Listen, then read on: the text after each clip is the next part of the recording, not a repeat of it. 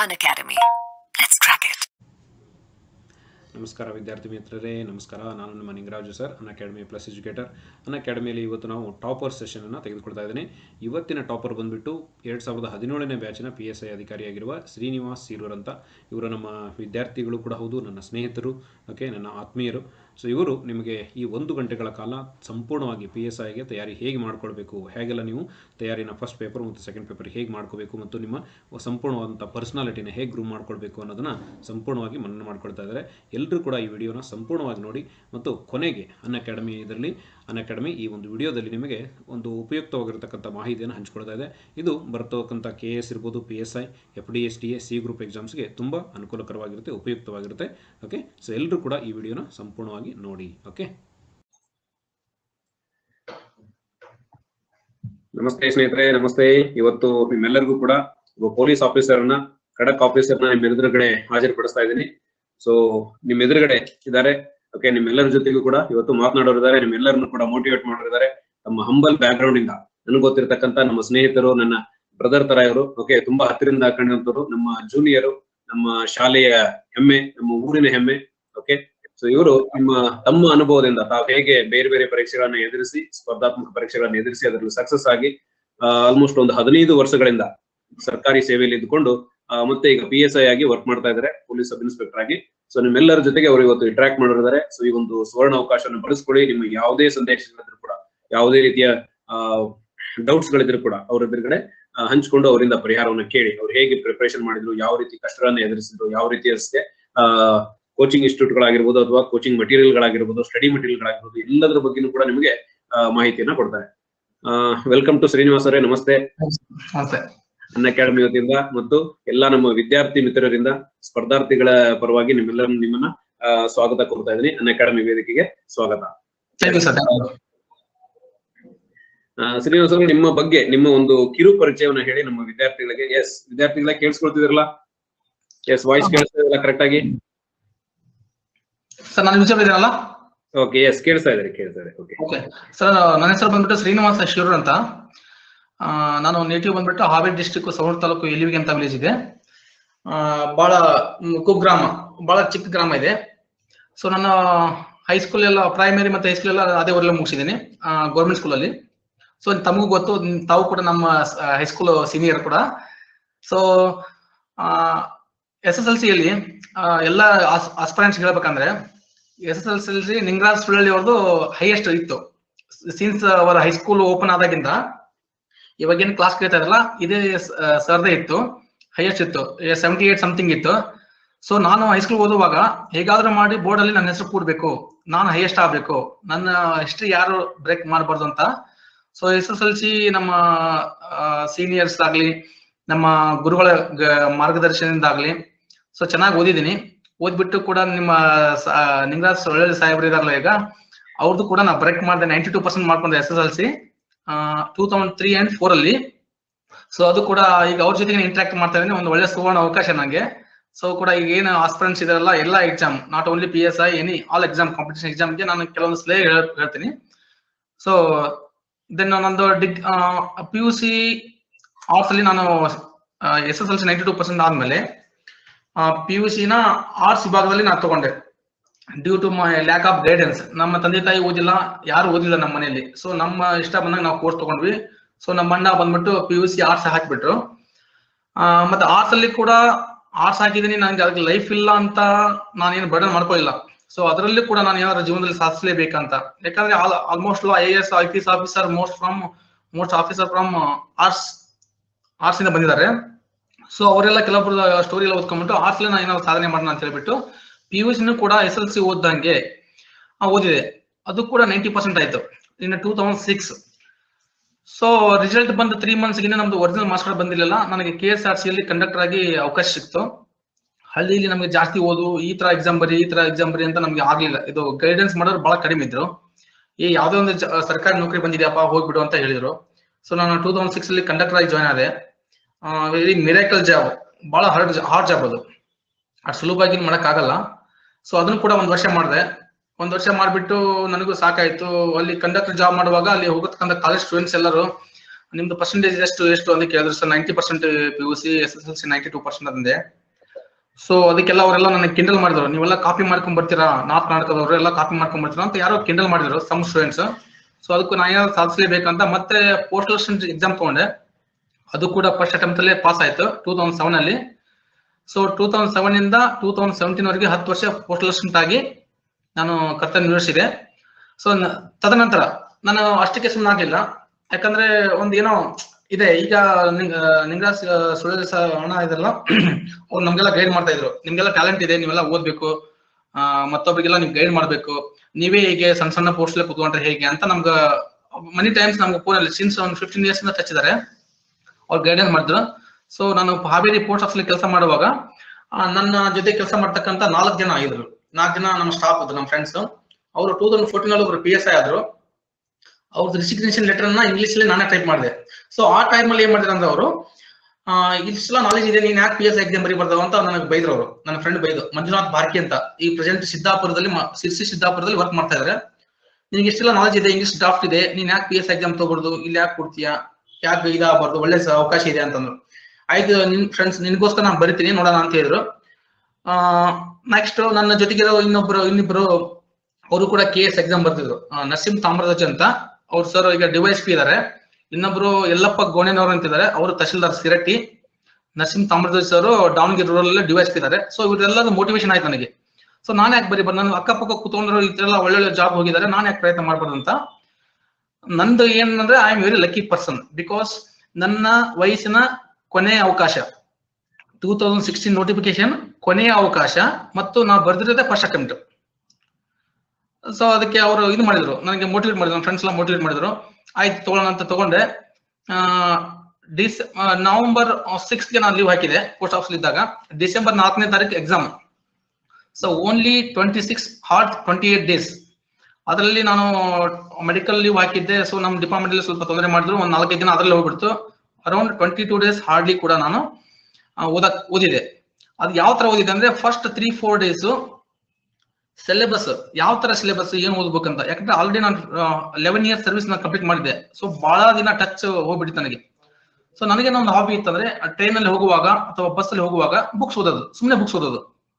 ನನ್ನ ಜೊತೆಗೆ ಬೇರೆ ಬೇರೆ ಡಿಪಾರ್ಟ್ಮೆಂಟ್ ಅವರು ನನ್ನ ಜೊತೆ ಟ್ರಾವೆಲ್ ಮಾಡೋರು, ದಿನ ನಾನು ಕೆಂಡಲ್ ಮಾಡೋರು. ಏನಪ್ಪಾ ದಿನ ಅದೇ ಬುಕ್ ಇಟ್ಕೊಂತೀಯ, ಅದೇ ಬುಕ್ ಇಟ್ಕೊತೀಯ, ಬರೀ ಓದ್ತೀಯಾ ಓದ್ತೀಯಾ ಅಂತ.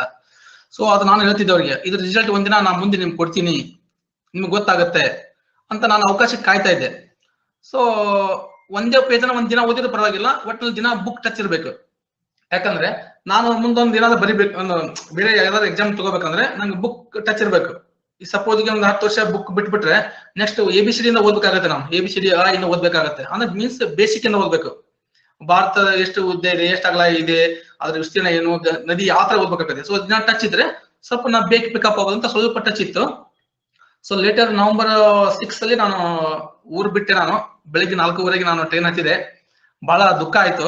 Because I am married person and also I have two kids ನಂಗೆ ಎರಡು ಮಕ್ಕಳು ಇದ್ದಾರೆ ಸೊ ಇಷ್ಟೆಲ್ಲ ಪರಿಸ್ಥಿತಿ ಇದ್ಕೊಂಡ ನನ್ನ ಮಕ್ಕಳು ಕೂಡ ನಾನು ಇಲ್ಲಾಂದ್ರೆ ಊಟ ಮಾಡಲ್ಲ. ಅಂತ ಪರಿಸ್ಥಿತಿಯಲ್ಲಿ ನಾನು ಊರ್, ಊರನ್ನ ಬಿಟ್ಟೆ. ಒಂದ್ ಮಾತು ಹೇಳಕ್ ಹೇಳಕ್ ಇಷ್ಟಪಡ್ತೇನೆ ಎಲ್ಲರಿಗೂ ಕೂಡ.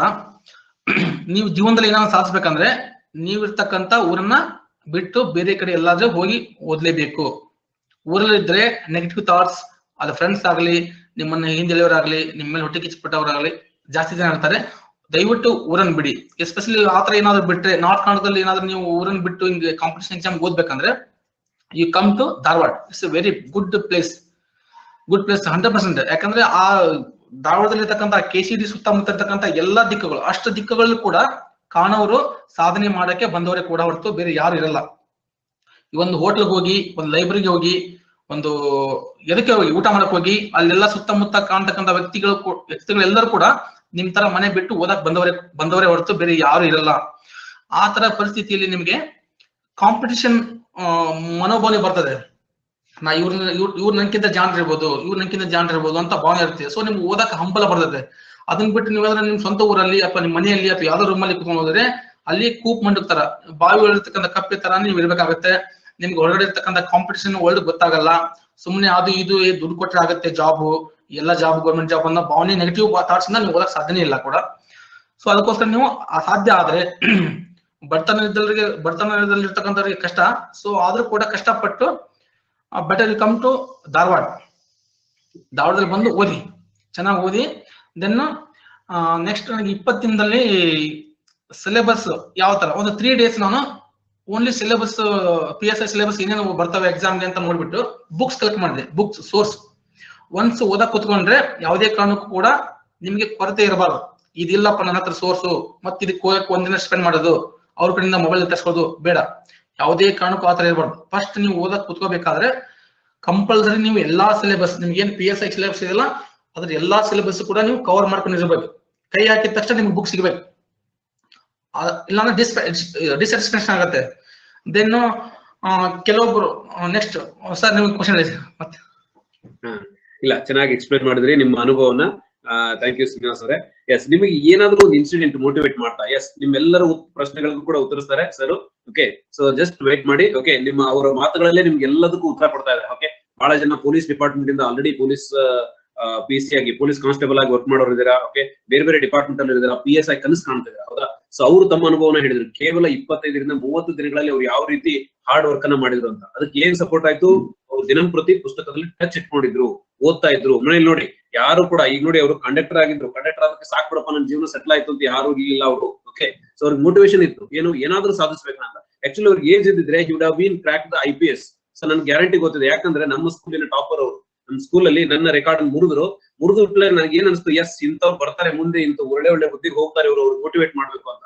ಓಕೆ ಸೊ ಡೆಫಿನೆಟ್ ಆಗಿ ಒಂದ್ ವೇಳೆ ಅವರು ಏಜ್ ಸ್ವಲ್ಪ ಏಜ್ನ ಒಂದು ಐದು ವರ್ಷ ಏನಾದ್ರು ಕಡಿಮೆ ಇದ್ರೆ ಡೆಫಿನೆಟ್ ಆಗಿ would been I P S so ಆ ಕಾನ್ಫಿಡೆನ್ಸ್ ನನಗೂ ಕೂಡ ಇತ್ತು. ಅಷ್ಟೊಂದು ಹಾರ್ಡ್ ವರ್ಕರ್ ಅವರು. ಓಕೆ ಸೊ ಏನಪ್ಪಾ ಅಂದ್ರೆ, ಇಲ್ಲಿ ವರ್ಕಿಂಗ್ ಇರೋರು ಯಾವ ರೀತಿ ಟೈಮ್ ಅನ್ನ ಮ್ಯಾನೇಜ್ ಮಾಡ್ಬೇಕು? ಸಿಗುವಂತ ಟೈಮ್ ಅಲ್ಲಿ ಬಸ್ ಅಲ್ಲಿ ಹೋಗ್ಬೇಕಾದ್ರೆ ಓಕೆ ಎಲ್ಲೋ ಒಂದ್ ಕಡೆ ಕುತ್ಕೊಂಡಿರ್ತೀರಾ? ಹೋಟೆಲ್ ಅಲ್ಲಿ ಟೈಮ್ ಪಾಸ್ ಮಾಡ್ತಿರ್ತಾರ? ಅದನ್ನೆಲ್ಲ ಅವಾಯ್ಡ್ ಮಾಡಿ ಒಂದ್ ವರ್ಷ, ಎರಡು ವರ್ಷ ಇದಕ್ಕೆ ಡೆಡಿಕೇಟ್ ಮಾಡಿ ಅಂತ ಹೇಳ್ತಿದ್ದಾರೆ ಸರ್ ಗೊತ್ತಾಯ್ತಾ? ಓಕೆ ಸೊ ಬಹಳ ಜನ ನೀವು ಪೊಲೀಸ್ ಡಿಪಾರ್ಟ್ಮೆಂಟ್ ಎಲ್ಲರೂ ಗೊತ್ತು, ಅವರು ಹಾರ್ಡ್ ವರ್ಕ್ ಅವ್ರಿಗೆ ಎಷ್ಟು ಪ್ರೆಸರ್ ಇರುತ್ತೆ ಅಂತ. ಓಕೆ ನನ್ನ ನನ್ನ ಫ್ಯಾಮಿಲಿಯಲ್ಲಿ ಇದ್ದಾರೆ. ಓಕೆ ಸ್ನೇಹಿತರು ಕೂಡ ಇದ್ದಾರೆ. ನಮ್ಮ ಸ್ಟೂಡೆಂಟ್ ಗಳೆಲ್ಲ ಹೇಳ್ತಿರ್ತಾರೆ.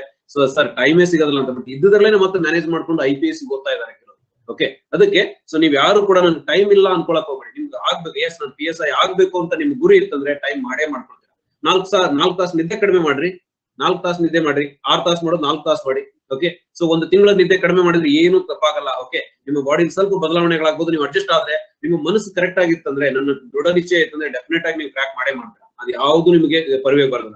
Once you crack the exam definitely you enjoy the S ನಾನು ನಿದ್ದೆ ಬಿಟ್ಟೆ, ಊಟ ಬಿಟ್ಟೆ ಫ್ರೆಂಡ್ಸ್ ಬಿಟ್ಟೆ, ಅನ್ನೋದು ಎಲ್ಲವೂ ಮರ್ತೋಗುತ್ತೆ, ಎಲ್ಲವೂ ನಿಮ್ಮ ಹತ್ರ ಬರ್ತದೆ ಮತ್ತೆ. ಓಕೆ ಸೊ ಸರ್ ಹೇಳ್ತಕ್ಕಂಥ ಮೋಟಿವೇಶನ್ ತುಂಬಾ ಚೆನ್ನಾಗಿತ್ತು. ನೆಕ್ಸ್ಟ್ ನಿಮ್ಗೆ ಏನ್ ಮೋಟಿವೇಟ್ ಮಾಡ್ತು? ಪೊಲೀಸ್ ಡಿಪಾರ್ಟ್ಮೆಂಟ್ಗೆ ಹೋಗ್ಬೇಕಂತ. ಯಾಕಂದ್ರೆ ನೀವು ಆಲ್ರೆಡಿ ಕಂಡಕ್ಟರ್ ಆಗಿದ್ರಿ, ಆನಂತರ ಒಂದ್ ವರ್ಷ ಸರ್ವಿಸ್ ಮಾಡಿದ್ರಿ ನೆಕ್ಸ್ಟ್ ಪೋಸ್ಟಲ್ ಅಸಿಸ್ಟೆಂಟ್ ಅಲ್ಲಿ ಒಳ್ಳೆ ಸಂಬಳ ಇತ್ತು ನಿಮಗೆ. ನಲವತ್ತೈದರಿಂದ ಐವತ್ತು ಸಾವಿರ ರೂಪಾಯಿ ಸಂಬಳ ಇತ್ತು. ಹೌದಾ? ಸೊ ಜಾಬ್ ಸೆಕ್ಯೂರ್ ಜಾಬ್ ಇತ್ತು ಸೆಂಟ್ರಲ್ ಗವರ್ಮೆಂಟ್ ಜಾಬ್ ಇತ್ತು. ಬಟ್ ಆದ್ರೂ ಪೊಲೀಸ್ ಡಿಪಾರ್ಟ್ಮೆಂಟ್ಗೆ ಹೋಗ್ಬೇಕಂತ ಏನ್ ಮೋಟಿವೇಟ್ ಮಾಡ್ತೀವಿ? ದಯವಿಟ್ಟು ಅದನ್ನ ವಿದ್ಯಾರ್ಥಿಗಳು ತಿಳಿಸ್ಕೊಡಿ. ಟೂ ತೌಸಂಡ್ ಫೋರ್ಟೀನ್ ಬ್ಯಾಚ್ ಅಲ್ಲಿ ನಮ್ಮ ಫ್ರೆಂಡ್ ಮಂಜುನಾಥ್ ಬಾರ್ಕಿ ಅಂತ ಒಬ್ಬ ಸಬ್ ಇನ್ಸ್ಪೆಕ್ಟರ್ ಆದ್ರು. ಅವರು ಕೂಡ ನಮ್ಮ ಆಫೀಸ್ ಅಲ್ಲಿ ಅಕ್ಕಪಕ್ಕ ಕೂತ್ಕೊಂಡು ಕೆಲಸ ಮಾಡ್ತಾ ಇದ್ವಿ. ಸೊ ಒಂದು ಆಫ್ಟರ್ ಸೆಲೆಕ್ಷನ್ ಆದ್ಮೇಲೆ ಅವನು six month eight months preparation ಮಾಡಿದ್ರು ಅವ್ರ ಸೆಲೆಕ್ಷನ್ ಎಕ್ಸಾಮ್ ಆಯ್ತು. ನೆಕ್ಸ್ಟ್ ರೆಸಿಗ್ನೇಷನ್ ಲೆಟರ್ನ ಟೈಪ್ ಮಾಡ್ಕೊಡಪ್ಪ ನಂಗೆ ಅಂತ ಹೇಳಿದ್ರು. ಸೊ ನಾನು ಇಂಗ್ಲಿಷ್ ಟೈಪ್ ಮಾಡಿದಾಗ ನಾನು ಡ್ರಾಫ್ಟ್ ಹಾಕಿದೆ. ಸೊ ನಿಮ್ಗೆ ಇಷ್ಟೆಲ್ಲ ನಾಲೆಜ್ ಇದೆ ನೀನ್ ಯಾಕೆ ಬರಿಬಾರ್ದು ಪಿ ಎಸ್ ಐನ ಅಥವಾ ಹೈಯರ್ ಕೆ ಎಸ್ ಎಕ್ಸಾಮ್ ಯಾಕೆ ಬರಿಬಾರ್ದು? ನೀವು ಈಸಿಯಾಗಿ ಪಾಸ್ ಆಗ್ತೀಯ ಅಂತ ನನಗೆ ಮೋಟಿವೇಟ್ ಮಾಡಿದ್ರು ಆಯ್ತು ಫ್ರೆಂಡ್ ನಿನಗೋಸ್ಕರ ನಾನು ಬರ್ತೀನಿ ನೋಡೋಣ. ಯಾಕಂದ್ರೆ age twenty nine point five ಇಪ್ಪತ್ತೊಂಬತ್ತುವರೆ ವರ್ಷ ನನಗೆ. ಲಾಸ್ಟ್ ಕಾಂಗ್ರೆಸ್ ಗೌರ್ಮೆಂಟ್ ಇದ್ದಾಗ ಜಿ ಪರಮೇಶ್ವರ್ ಸಾಹೇಬ್ರು ಮಾನ್ಯ ಗೃಹ ಮಂತ್ರಿ ಇದ್ದಾಗ ಒಂದು ಟೂ ಇಯರ್ಸ್ ನಮ್ಗೆ ಗ್ರೇಸ್ ಕೊಟ್ರು. ಈಗ ಕೊಟ್ಟಿದಾರಲ್ಲ ತರ್ಟಿ ಟೂ ಇಯರ್ಸ್ ಆತ ನಂಗೆ ಗ್ರೇಸ್ ಕೊಟ್ರು. ಅದರಿಂದ ನನಗೆ ಒಳ್ಳೆ ಅವಕಾಶ ಇತ್ತು. ಅದು ಕೂಡ ನನಗೆ ಕೊನೆಯ ಅವಕಾಶ. ನನ್ನ ಏಜ್ಗೆ ಕೊನೆಯ ಅವಕಾಶ. ನಾ ಬರ್ತಿರೋದೇ ಫಸ್ಟ್ ಅಟೆಂಪ್ಟ್ ಅವಾಗ ಸಿಕ್ಸ್ ಮಂತ್ ಅಷ್ಟೇ ಇತ್ತು. ಸೊ ಹೇಗಾದ್ರು ಮಾಡಿ ಬರ್ಲೇಬೇಕು ಅಂತ ಹೇಳಿ ಸ್ವಲ್ಪ ರಜೆ ಹಾಕಿದೆ. ಅವ್ರು ಕೂಡ ಮೋಟಿವೇಟ್ ಮಾಡ್ತಾರೆ ನಮ್ಮ ಫ್ರೆಂಡ್ ಓದು ಅಂತಂದು ಅದಕ್ಕೋಸ್ಕರ ನಾನು ಏನ್ ಮಾಡಿದೆ ಮೊದಲಿಂದ ಟಚ್ ಇತ್ತು. ಕಾಂಪಿಟೇಟಿವ್ ಎಕ್ಸಾಮ್ ಹೆಂಗ್ ಬರಿಬೇಕು ಹೆಂಗ್ ಇದ್ ಮಾಡ್ಬೇಕಂತ. ಸೊ ಅದಕ್ಕೋಸ್ಕರ ಫಸ್ಟ್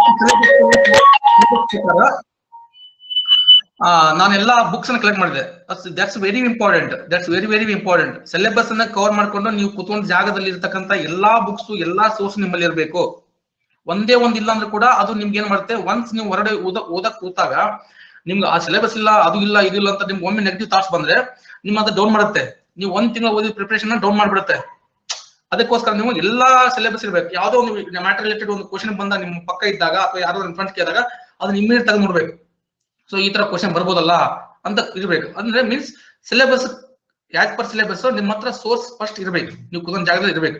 ದೆನ್ ಈಗ ಹೈಸ್ಕೂಲ್ ಅಲ್ಲಿ ಅಥವಾ ಕಾಲೇಜಲ್ಲಿ ಮತ್ತೆ ಡಿಗ್ರಿಯಲ್ಲಿ ಓದುವಾಗ. ಮೀನ್ಸ್ ಬಿಕಾಸ್ ನಂದು ಎಕ್ಸ್ಟರ್ನಲ್ ಡಿಗ್ರಿ ನಂದು ರೆಗ್ಯುಲರ್ ಡಿಗ್ರಿ ಅಲ್ಲ ಎಕ್ಸ್ಟರ್ನಲ್ ಡಿಗ್ರಿ ಯಾಕಂದ್ರೆ ಯಾಕಂದ್ರೆ ನಾನು ಪಿ ಯು ಸಿ ಎಂಬುದು ಮೂರು ತಿಂಗಳಿಗೆ ನಾನು ಜಾಬ್ ಹೋಗ್ಬಿಟ್ಟೆ. ಅಲ್ಲಿಂದ ಇಲ್ಲಿವರೆಗೆ ನಾನು fifteen years continue government service ಮಾಡ್ತಾ ಇದ್ದೀನಿ. ಸೊ ಅದಕ್ಕೋಸ್ಕರ ನೋಡಿ ಸ್ನೇಹಿತರೆ, ಇಲ್ಲಿ ಸರ್ ಹೇಳ್ತಿದ್ದಾರೆ ಗೊತ್ತಾಯ್ತಾ? ಬಹಳ ಜನರು ನಂದು ಡಿಗ್ರಿ ಆಗಿದೆ ಪಿ ಜಿ ಆಗಿದೆ, ಆದ್ರೂ ಜಾಬ್ ಆಗ್ತಿಲ್ಲ ಅಂತ ಯೋಚನೆ ಮಾಡ್ತಿರ್ತಾರೆ. ಬಟ್ ಅವ್ರದ್ದು ಪಿ ಯು ಸಿ ಅಷ್ಟೇ ಪಿ ಯು ಸಿ ಅಷ್ಟೇ ರೆಗ್ಯುಲರ್ ಕಾಲೇಜ್ ಹೋಗಿದ್ದು. ಆನಂತರ ಡಿಗ್ರಿ ಮಾಡ್ತಾನೆ ಡಿಗ್ರಿನ ಎಕ್ಸ್ಟರ್ನಲ್ ಮಾಡ್ಕೊಂಡಿದ್ದು. ಓಕೆ ಸೊ ಅಂದ್ರೆ ಎಕ್ಸ್ಟರ್ನಲ್ ಓದಿನೇ ಅವ್ರು ತಿಳ್ಕೊಂಡು ಎಕ್ಸಾಮ್ನ ಕ್ರಾಕ್ ಮಾಡೋದು ಬಹಳ ಜನರಿಗೆ ಇರುತ್ತೆ. ಸರ್ ನಾನು ಎಕ್ಸ್ಟರ್ನಲ್ ಮಾಡಿದೀನಿ, ನಾನು ಪಿ ಎಸ್ ಐ ಮಾಡ್ಬೋದಾ? ಕೆ ಎಸ್ ಮಾಡ್ಬೋದಾ ಅಂತ? ಅದಕ್ಕೆ ಯಾವುದೇ ರೀತಿ ಅಭ್ಯಂತರಗಳಿಲ್ಲ, ಅಡೆತಡೆಗಳಿಲ್ಲ. ನೀವು ಆರಾಮಾಗಿ ನಿಮ್ಮ ಓದು ನಿರಂತರವಾಗಿದ್ರೆ, ಸರಿಯಾದ ಮಾರ್ಗದಲ್ಲಿ, ಸರಿಯಾದ ದಿಕ್ಕಿನಲ್ಲಿ ಇದ್ರೆ ಡೆಫಿನೆಟ್ ಆಗಿ ನೀವು ಕ್ರಾಕ್ ಮಾಡ್ತೀರಾ ಅಂತ ಸರಿ ಹೇಳ್ತಾರೆ ಸೊ ಅವ್ರಿಗೆ ಮೋಟಿವೇಟ್ ಮಾಡಿರೋದು ಏನಪ್ಪಾ ಅಂದ್ರೆ, ಅವರಲ್ಲಿರೋ ಸಾಮರ್ಥ್ಯವನ್ನು ಒಬ್ರು ಅವರ ಕಲಿಗೆ ಆಗಿರ್ತಕ್ಕಂಥ ಡಿಪಾರ್ಟ್ಮೆಂಟ್ ಸೇರಿದವರು ಅವ್ರಿಗೆ ಮೋಟಿವೇಟ್ ಮಾಡಿದ್ರು. ಸೊ ಹಾಗೆ ಎಲ್ಲರಿಗೂ ಕೂಡ ಒಂದು ಮೋಟಿವೇಶನ್ ಇದ್ದೇ ಇರುತ್ತೆ. ಓಕೆ ಸೊ ನಿಮ್ಗೂ ಕೂಡ ಏನಾದ್ರೂ ಒಂದು ಘಟನೆ ನಡೆದಿರುತ್ತೆ. ಆ ಘಟನೆಯನ್ನ ಓಕೆ ಒಂದು ಚಾಲೆಂಜ್ ಆಗಿ ತಗೊಳ್ಳಿ ಎಸ್ ನಾನು ಕೂಡ ಈ ಕ್ರಾಕ್ ಮಾಡಬೇಕು ಇಂಥ ಎಕ್ಸಾಮ್ ಅಂತ. ಓಕೆ ಸೊ ನಿಮ್ಗೆ ಇನ್ನೊಂದು ಪರೀಕ್ಷಾ ತಯಾರಿಗೆ, ಹೇಗೆ ನೀವು ವಿಧಾನ, ನಿಮ್ಗೆ ಆಕ್ಚುಲಿ ಶಾರ್ಟ್ ಬಹಳ ಕಡಿಮೆ ಅವಧಿಯಲ್ಲಿ ಈಗಲೂ ಕೂಡ ಕಡಿಮೆ ಅವಧಿ ಇದೆ. ಇನ್ನೊಂದು ಮೂರ್ ತಿಂಗಳಲ್ಲಿ ಮೋಸ್ಟ್ಲಿ ಇದು ಎಕ್ಸಾಮ್ ಸ್ಟಾರ್ಟ್ ಆಗ್ಬೋದು. ಓಕೆ ಫಿಸಿಕಲ್ ಮುಗಿಸಿ ಎಕ್ಸಾಮ್ಗೆ ಇದಕ್ಕ, ಇದು ಕೊಡ್ಬೋದು ಡೇಟ್ ಅನ್ನ ಕೊಡ್ಬೋದು.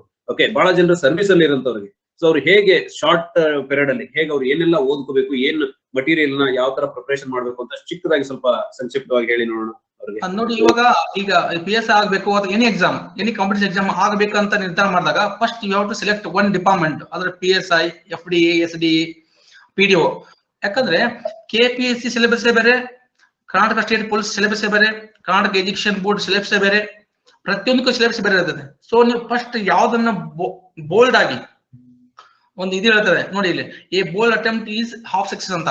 ಒಂದು ಬೋಲ್ಡ್ ಅಟೆಂಪ್ಟ್ ಮಾಡೋದಿಲ್ಲ ಹಾಫ್ ಸಕ್ಸಸ್ ನಿಮ್ದು ಅರ್ಧ, ಆ ಇದರಲ್ಲಿ, ಕ್ಷೇತ್ರದಲ್ಲಿ ಅರ್ಧ ಸಕ್ಸಸ್ ಆದಂಗೆ ನೀವು. ಸೊ ಫಸ್ಟ್ ಅದ್ರ ಪ್ರಕಾರ ನೀವು ಯಾವ್ದು ಓದ್ಬೇಕು ಅನ್ನೋದನ್ನ ಚಾಯ್ಸ್ ಮಾಡ್ಕೋಬೇಕು. ಯಾಕಂದ್ರೆ K P S C syllabus ಬೇರೆ ಇರ್ತದೆ ಮೋಡ್ ಆಫ್ ಕ್ವಶನ್ ತೆಗೆದೇ ಬೇರೆ ಇರ್ತದೆ ಕರ್ನಾಟಕ ಸ್ಟೇಟ್ ಪೊಲೀಸ್ ಬೇರೆ ಇರ್ತದೆ. ಸೊ ಈ ತರ ಅದಕ್ಕೋಸ್ಕರ ಸೆಲೆಕ್ಟ್ ಮಾಡ್ಕೋಬೇಕು. ಫಸ್ಟ್ ಸೆಲೆಕ್ಟ್ ಮಾಡ್ಕೊಂಡು ಅದೇ ಸೋರ್ಸ್ ಕಲೆಕ್ಟ್ ಮಾಡ್ಕೋಬೇಕು.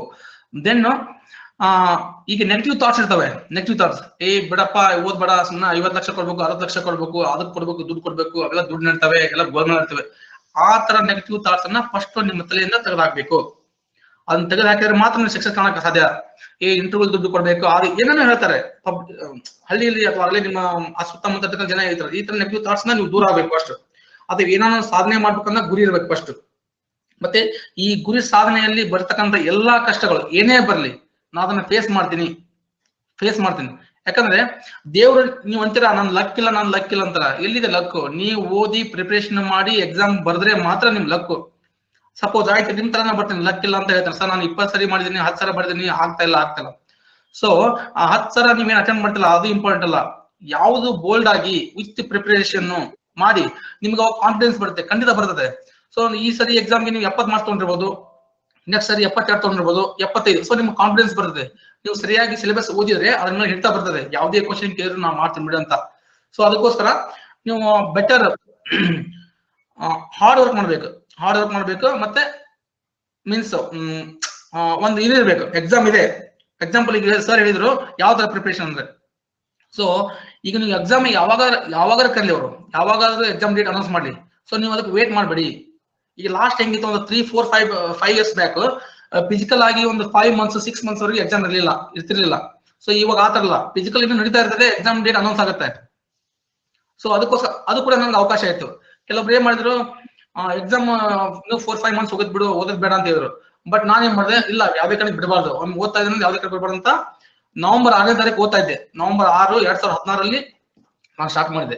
ಡಿಸೆಂಬರ್ ನಾಲ್ಕನೇ ತಾರೀಕು exam so hardly twenty eight days twenty six days ಇದರಲ್ಲಿ ಒಂದು ನಿಯರ್ಲಿ ನಾನು ಸೆವೆಂಟೀನ್ ಅವರ್ಸ್ ಏಯ್ಟೀನ್ ಅವರ್ಸ್ ಓದ್ತಾ ಇದ್ದೆ. Only five hours four hours ಅಷ್ಟೇ ಮಲಗಿದ್ದೆ ಪರ್ ಡೇ ಯಾಕಂದ್ರೆ ನನಗೆ ಕೊನೆ ಅವಕಾಶ, ನಾ ಬಿಡ್ಲೇಬಾರ್ದು.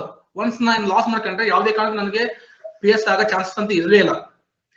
ಅದಕ್ಕೋಸ್ಕರ ನಾನು ಹಾರ್ಡ್ಲಿ ಒಂದ್ ದಿನಕ್ಕೆ ಹದಿನೇಳು ತಾಸು, ಹದಿನೆಂಟು ತಾಸು ಓದಿದೆ ನಾನು. ಧಾರವಾಡದಲ್ಲಿ ಸಪ್ತಗಿರಿ, ಸಪ್ತಗಿರಿಯಲ್ಲಿ ಪೋಸ್ಟ್ ಆಫೀಸ್ ಪಕ್ಕ ಇರ್ತಕ್ಕಂಥ ಒಂದು ಯಾವ್ದೋ ಪಿ ಜಿಯಲ್ಲಿ ಓದ್ತಾ ಇದ್ದೆ.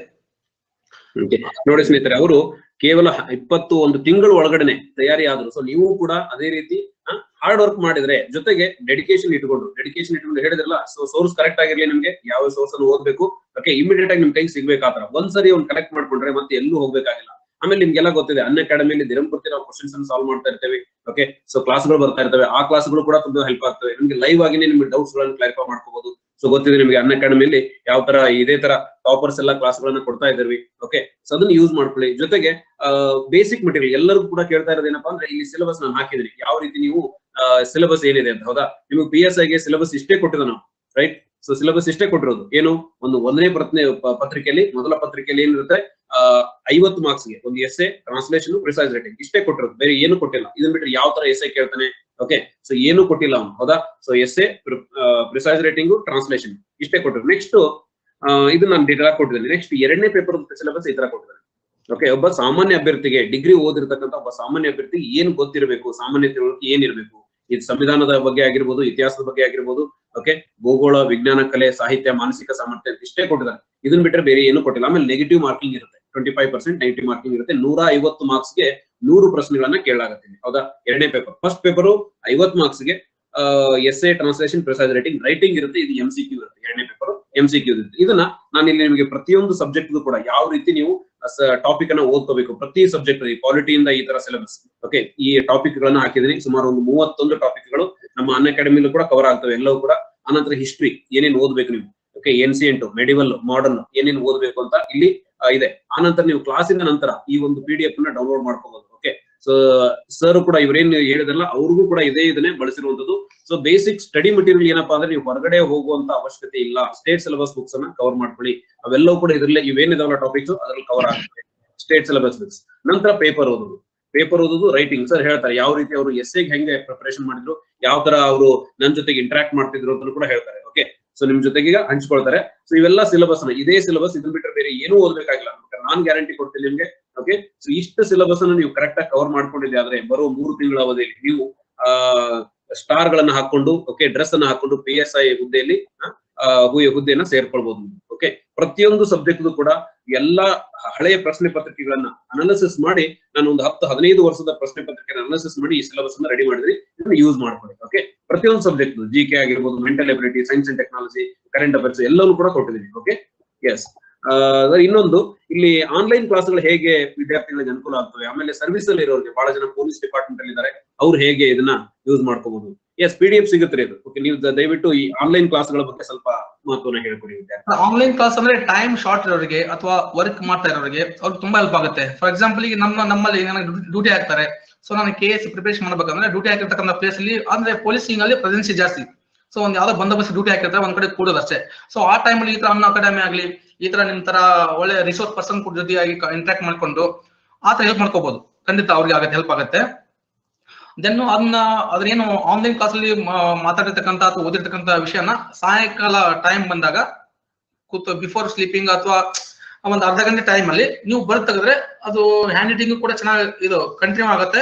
ಸೊ ಅದು ನೆನಪು ಉಳಿತೈತೆ ಸೊ ಎಲೆಕ್ಟ್ರಾನಿಕ್ಸ್ ನನ್ನ ಆಸ್ ಮೈ ಒಪಿನಿಯನ್ ನನ್ನ ಇದ್ರ ಪ್ರಕಾರ ಎಲೆಕ್ಟ್ರಾನ್ಸ್ ಎಲೆಕ್ಟ್ರಾನಿಕ್ಸ್ ಇದರಲ್ಲಿ ಮೀನ್ಸ್ ಡಿವೈಸಸ್ ಅಲ್ಲಿ ಓದಿರ್ತಕ್ಕಂಥದ್ದು ಮರೆಯುವ ಮರೆಯುವಾಗೋದು ಬಹಳ ಬೇಗ ಆಗುತ್ತೆ.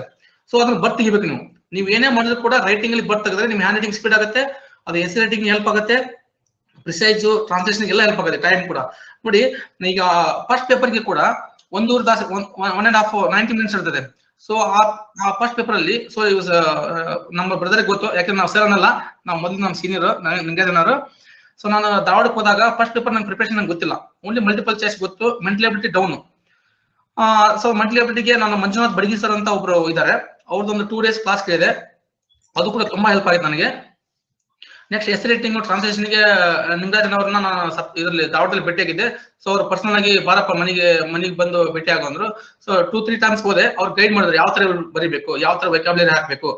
ಮೇನ್ ಅಂದ್ರೆ ಎಸ್ ರೇಟಿಂಗು ಟ್ರಾನ್ಸ್ಲೇಷನ್ಗೆ ಹ್ಯಾಂಡ್ ರೈಟಿಂಗ್ ಚೆನ್ನಾಗಿರ್ಬೇಕು. ಇದು ನಮ್ಮ ಫ್ರೆಂಡ್ ಒಬ್ರು ತಹಶೀಲ್ದಾರ್ ಆಗಿದೆ ಅಂತ ಹೇಳಿದ್ರೆ ಆವಾಗಲೇ ಅವ್ರು ಹೇಳಿದ್ರು. ಯಾವ ತರ ಬರಿಬೇಕಪ್ಪ ಅಂದ್ರೆ ಆಲ್ರೆಡಿ ಅವ್ರದ್ದು ಅನೌನ್ಸ್ ಆಗಿತ್ತು ರಿಸಲ್ಟ್ ಯಾವ ತರ ಬರಿಬೇಕಪ್ಪ ಅಂತ ಕೇಳಿದ್ರು ನನಗೆ. ಸೊ ನೀನು ಪಿ ಯು ಸಿ ಎಷ್ಟಾಗಿದೆ ನಿಂದು ಎಸ್ ಎಲ್ ಸಿ ಎಷ್ಟಾಗಿದೆ ninety two percent ninety percent ಇದೆ ಸೊ ನೀನು ಪಿ ಯು ಸಿ ಎಕ್ಸಾಮ್ ಬರ್ದಂಗೆ ಕ್ಲಿಯರ್ ಆಗಿ, ದುಂಡಾಗಿ, ಅಚ್ಚುಕಟ್ಟಾಗಿ ಕ್ಲಿಯರ್ ಬರೆಯಪ್ಪ ಅಂತ ಹೇಳಿದ್ರು. ಸೊ ನಿಮ್ಗೆ ಎಲ್ಲರಿಗೂ ಕ್ವಶನ್ ಬರ್ತದೆ. ಪ್ರಬಂಧಕ್ಕೆ ಎಷ್ಟು ಪೇಜ್ ಬರಿಬೇಕು? ರಿಸರ್ಚ್ ರೇಟಿಂಗ್ ಎಷ್ಟು ಬರಿಬೇಕು?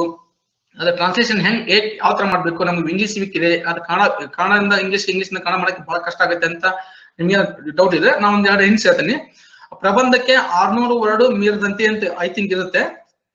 ಆರ್ನೂರು word maximum ten plus plus twenty or minus twenty so maximum ಒಂದು ಫೈವ್ ಫಸ್ಟ್ ನಿಮ್ ಹ್ಯಾಂಡ್ ರೈಟಿಂಗ್ ಎಷ್ಟು ದಪ್ಪ ಆಗುತ್ತೆ, ಚಿಕ್ಕದಾಗತ್ತೆ, ಅದು ನಿಮ್ದು ಇರಬೇಕು. ಒಂದು ಬ್ಲಾಂಕ್ ಪೇಪರ್ ಅಲ್ಲಿ ತಗೊಳ್ಳಿ, ಒಂದು ಎಸ್ ರೈಟಿಂಗ್ ಬರ್ಬಿಡಿ ಕೌಂಟ್ ಮಾಡ್ಕೊಂತ ಹೋಗಿ ಅಪ್ರಾಕ್ಸಿಮೇಟ್ ನಿಮ್ಗೆ ಗೊತ್ತಾಗುತ್ತೆ, ಒಂದು ಪೇಜ್ ನನ್ನ ಹ್ಯಾಂಡ್ ರೈಟಿಂಗ್ ಎಷ್ಟು ಕೂಡಬಹುದು ಅಂತ ಗೊತ್ತಾಗುತ್ತೆ. ಸೊ ಎಸ್ ರೈಟಿಂಗ್ ನಂಗೆ ನಾಲೆಜ್ ಇದೆ, ನಾ ಹತ್ತು ಪೇಜ್ ಬರ್ತೀನಿ ಅಂದ್ರೆ ನೋ ಯೂಸ್ ಯಾಕಂದ್ರೆ ನಿಮ್ಗೆ ಟೈಮ್ ಕಿಲ್ ಆಗುತ್ತೆ, ಅದು ಕೂಡ ಅದು ಕನ್ಸಿಡರ್ ಮಾಡಲ್ಲ. ಬಿಕಾಸ್ ದ ಇವ್ಯಾಲ್ಯೂಟರ್ ಏನಂದ್ರೆ ಅವ್ರು ನೋಡ್ತಾರೆ. ಜಜ್ಮೆಂಟ್ ಯಾವ ತರ ಇದೆ ಇದೆ ಒಂದು ಆರ್ನೂರು ಓಡಿಗೆ ಮುಗಿಸಿದಾನ ಆರ್ನೂರ ಇಪ್ಪತ್ತು ಓಡಿಗೆ ಮುಗಿಸಿದಾನ ಏಳ್ನೂರು ಓಡಿ ಮುಗಿಸಿದಾನ ನೋಡ್ಕೊಂಡು ನೆಗ್ಲೆಕ್ಟ್ ಆಗಿ ಇವ್ಯಾಲ್ಯೂಷನ್ ಮಾಡೋ ಚಾನ್ಸ್ ಇರ್ತದೆ. ಏನೋ ಡಮ್ಮಿ ಬರ್ದಿರ್ಬೋದು ಅಂತ. ನೀವು ಅದಕ್ಕೋಸ್ಕರ ಅಕ್ಯುರೇಟ್ ಆಗಿ five to six pages maximum ನಾನು ಐದೂವರೆ ಪೇಜ್ ಬರ್ದಿದ್ದೆ. ಫೈವ್ ಟು ಸಿಕ್ಸ್ ಅಂದ್ರೆ ಆರ್ನೂರ ಇಪ್ಪತ್ತೇಳು ಆರ್ನೂರ ಮೂವತ್ತೇಳಲ್ಲಿ ಮುಗಿಸ್ಬಿಡ್ಬೇಕು. ಎಷ್ಟೇ ನಾಲೆಜ್ ಇದ್ರು ಕೂಡ ಅಷ್ಟೊಳಗೆ ಮುಗಿಸ್ಬೇಕು ಎಸ್ ರೇಟಿಂಗ್ನ.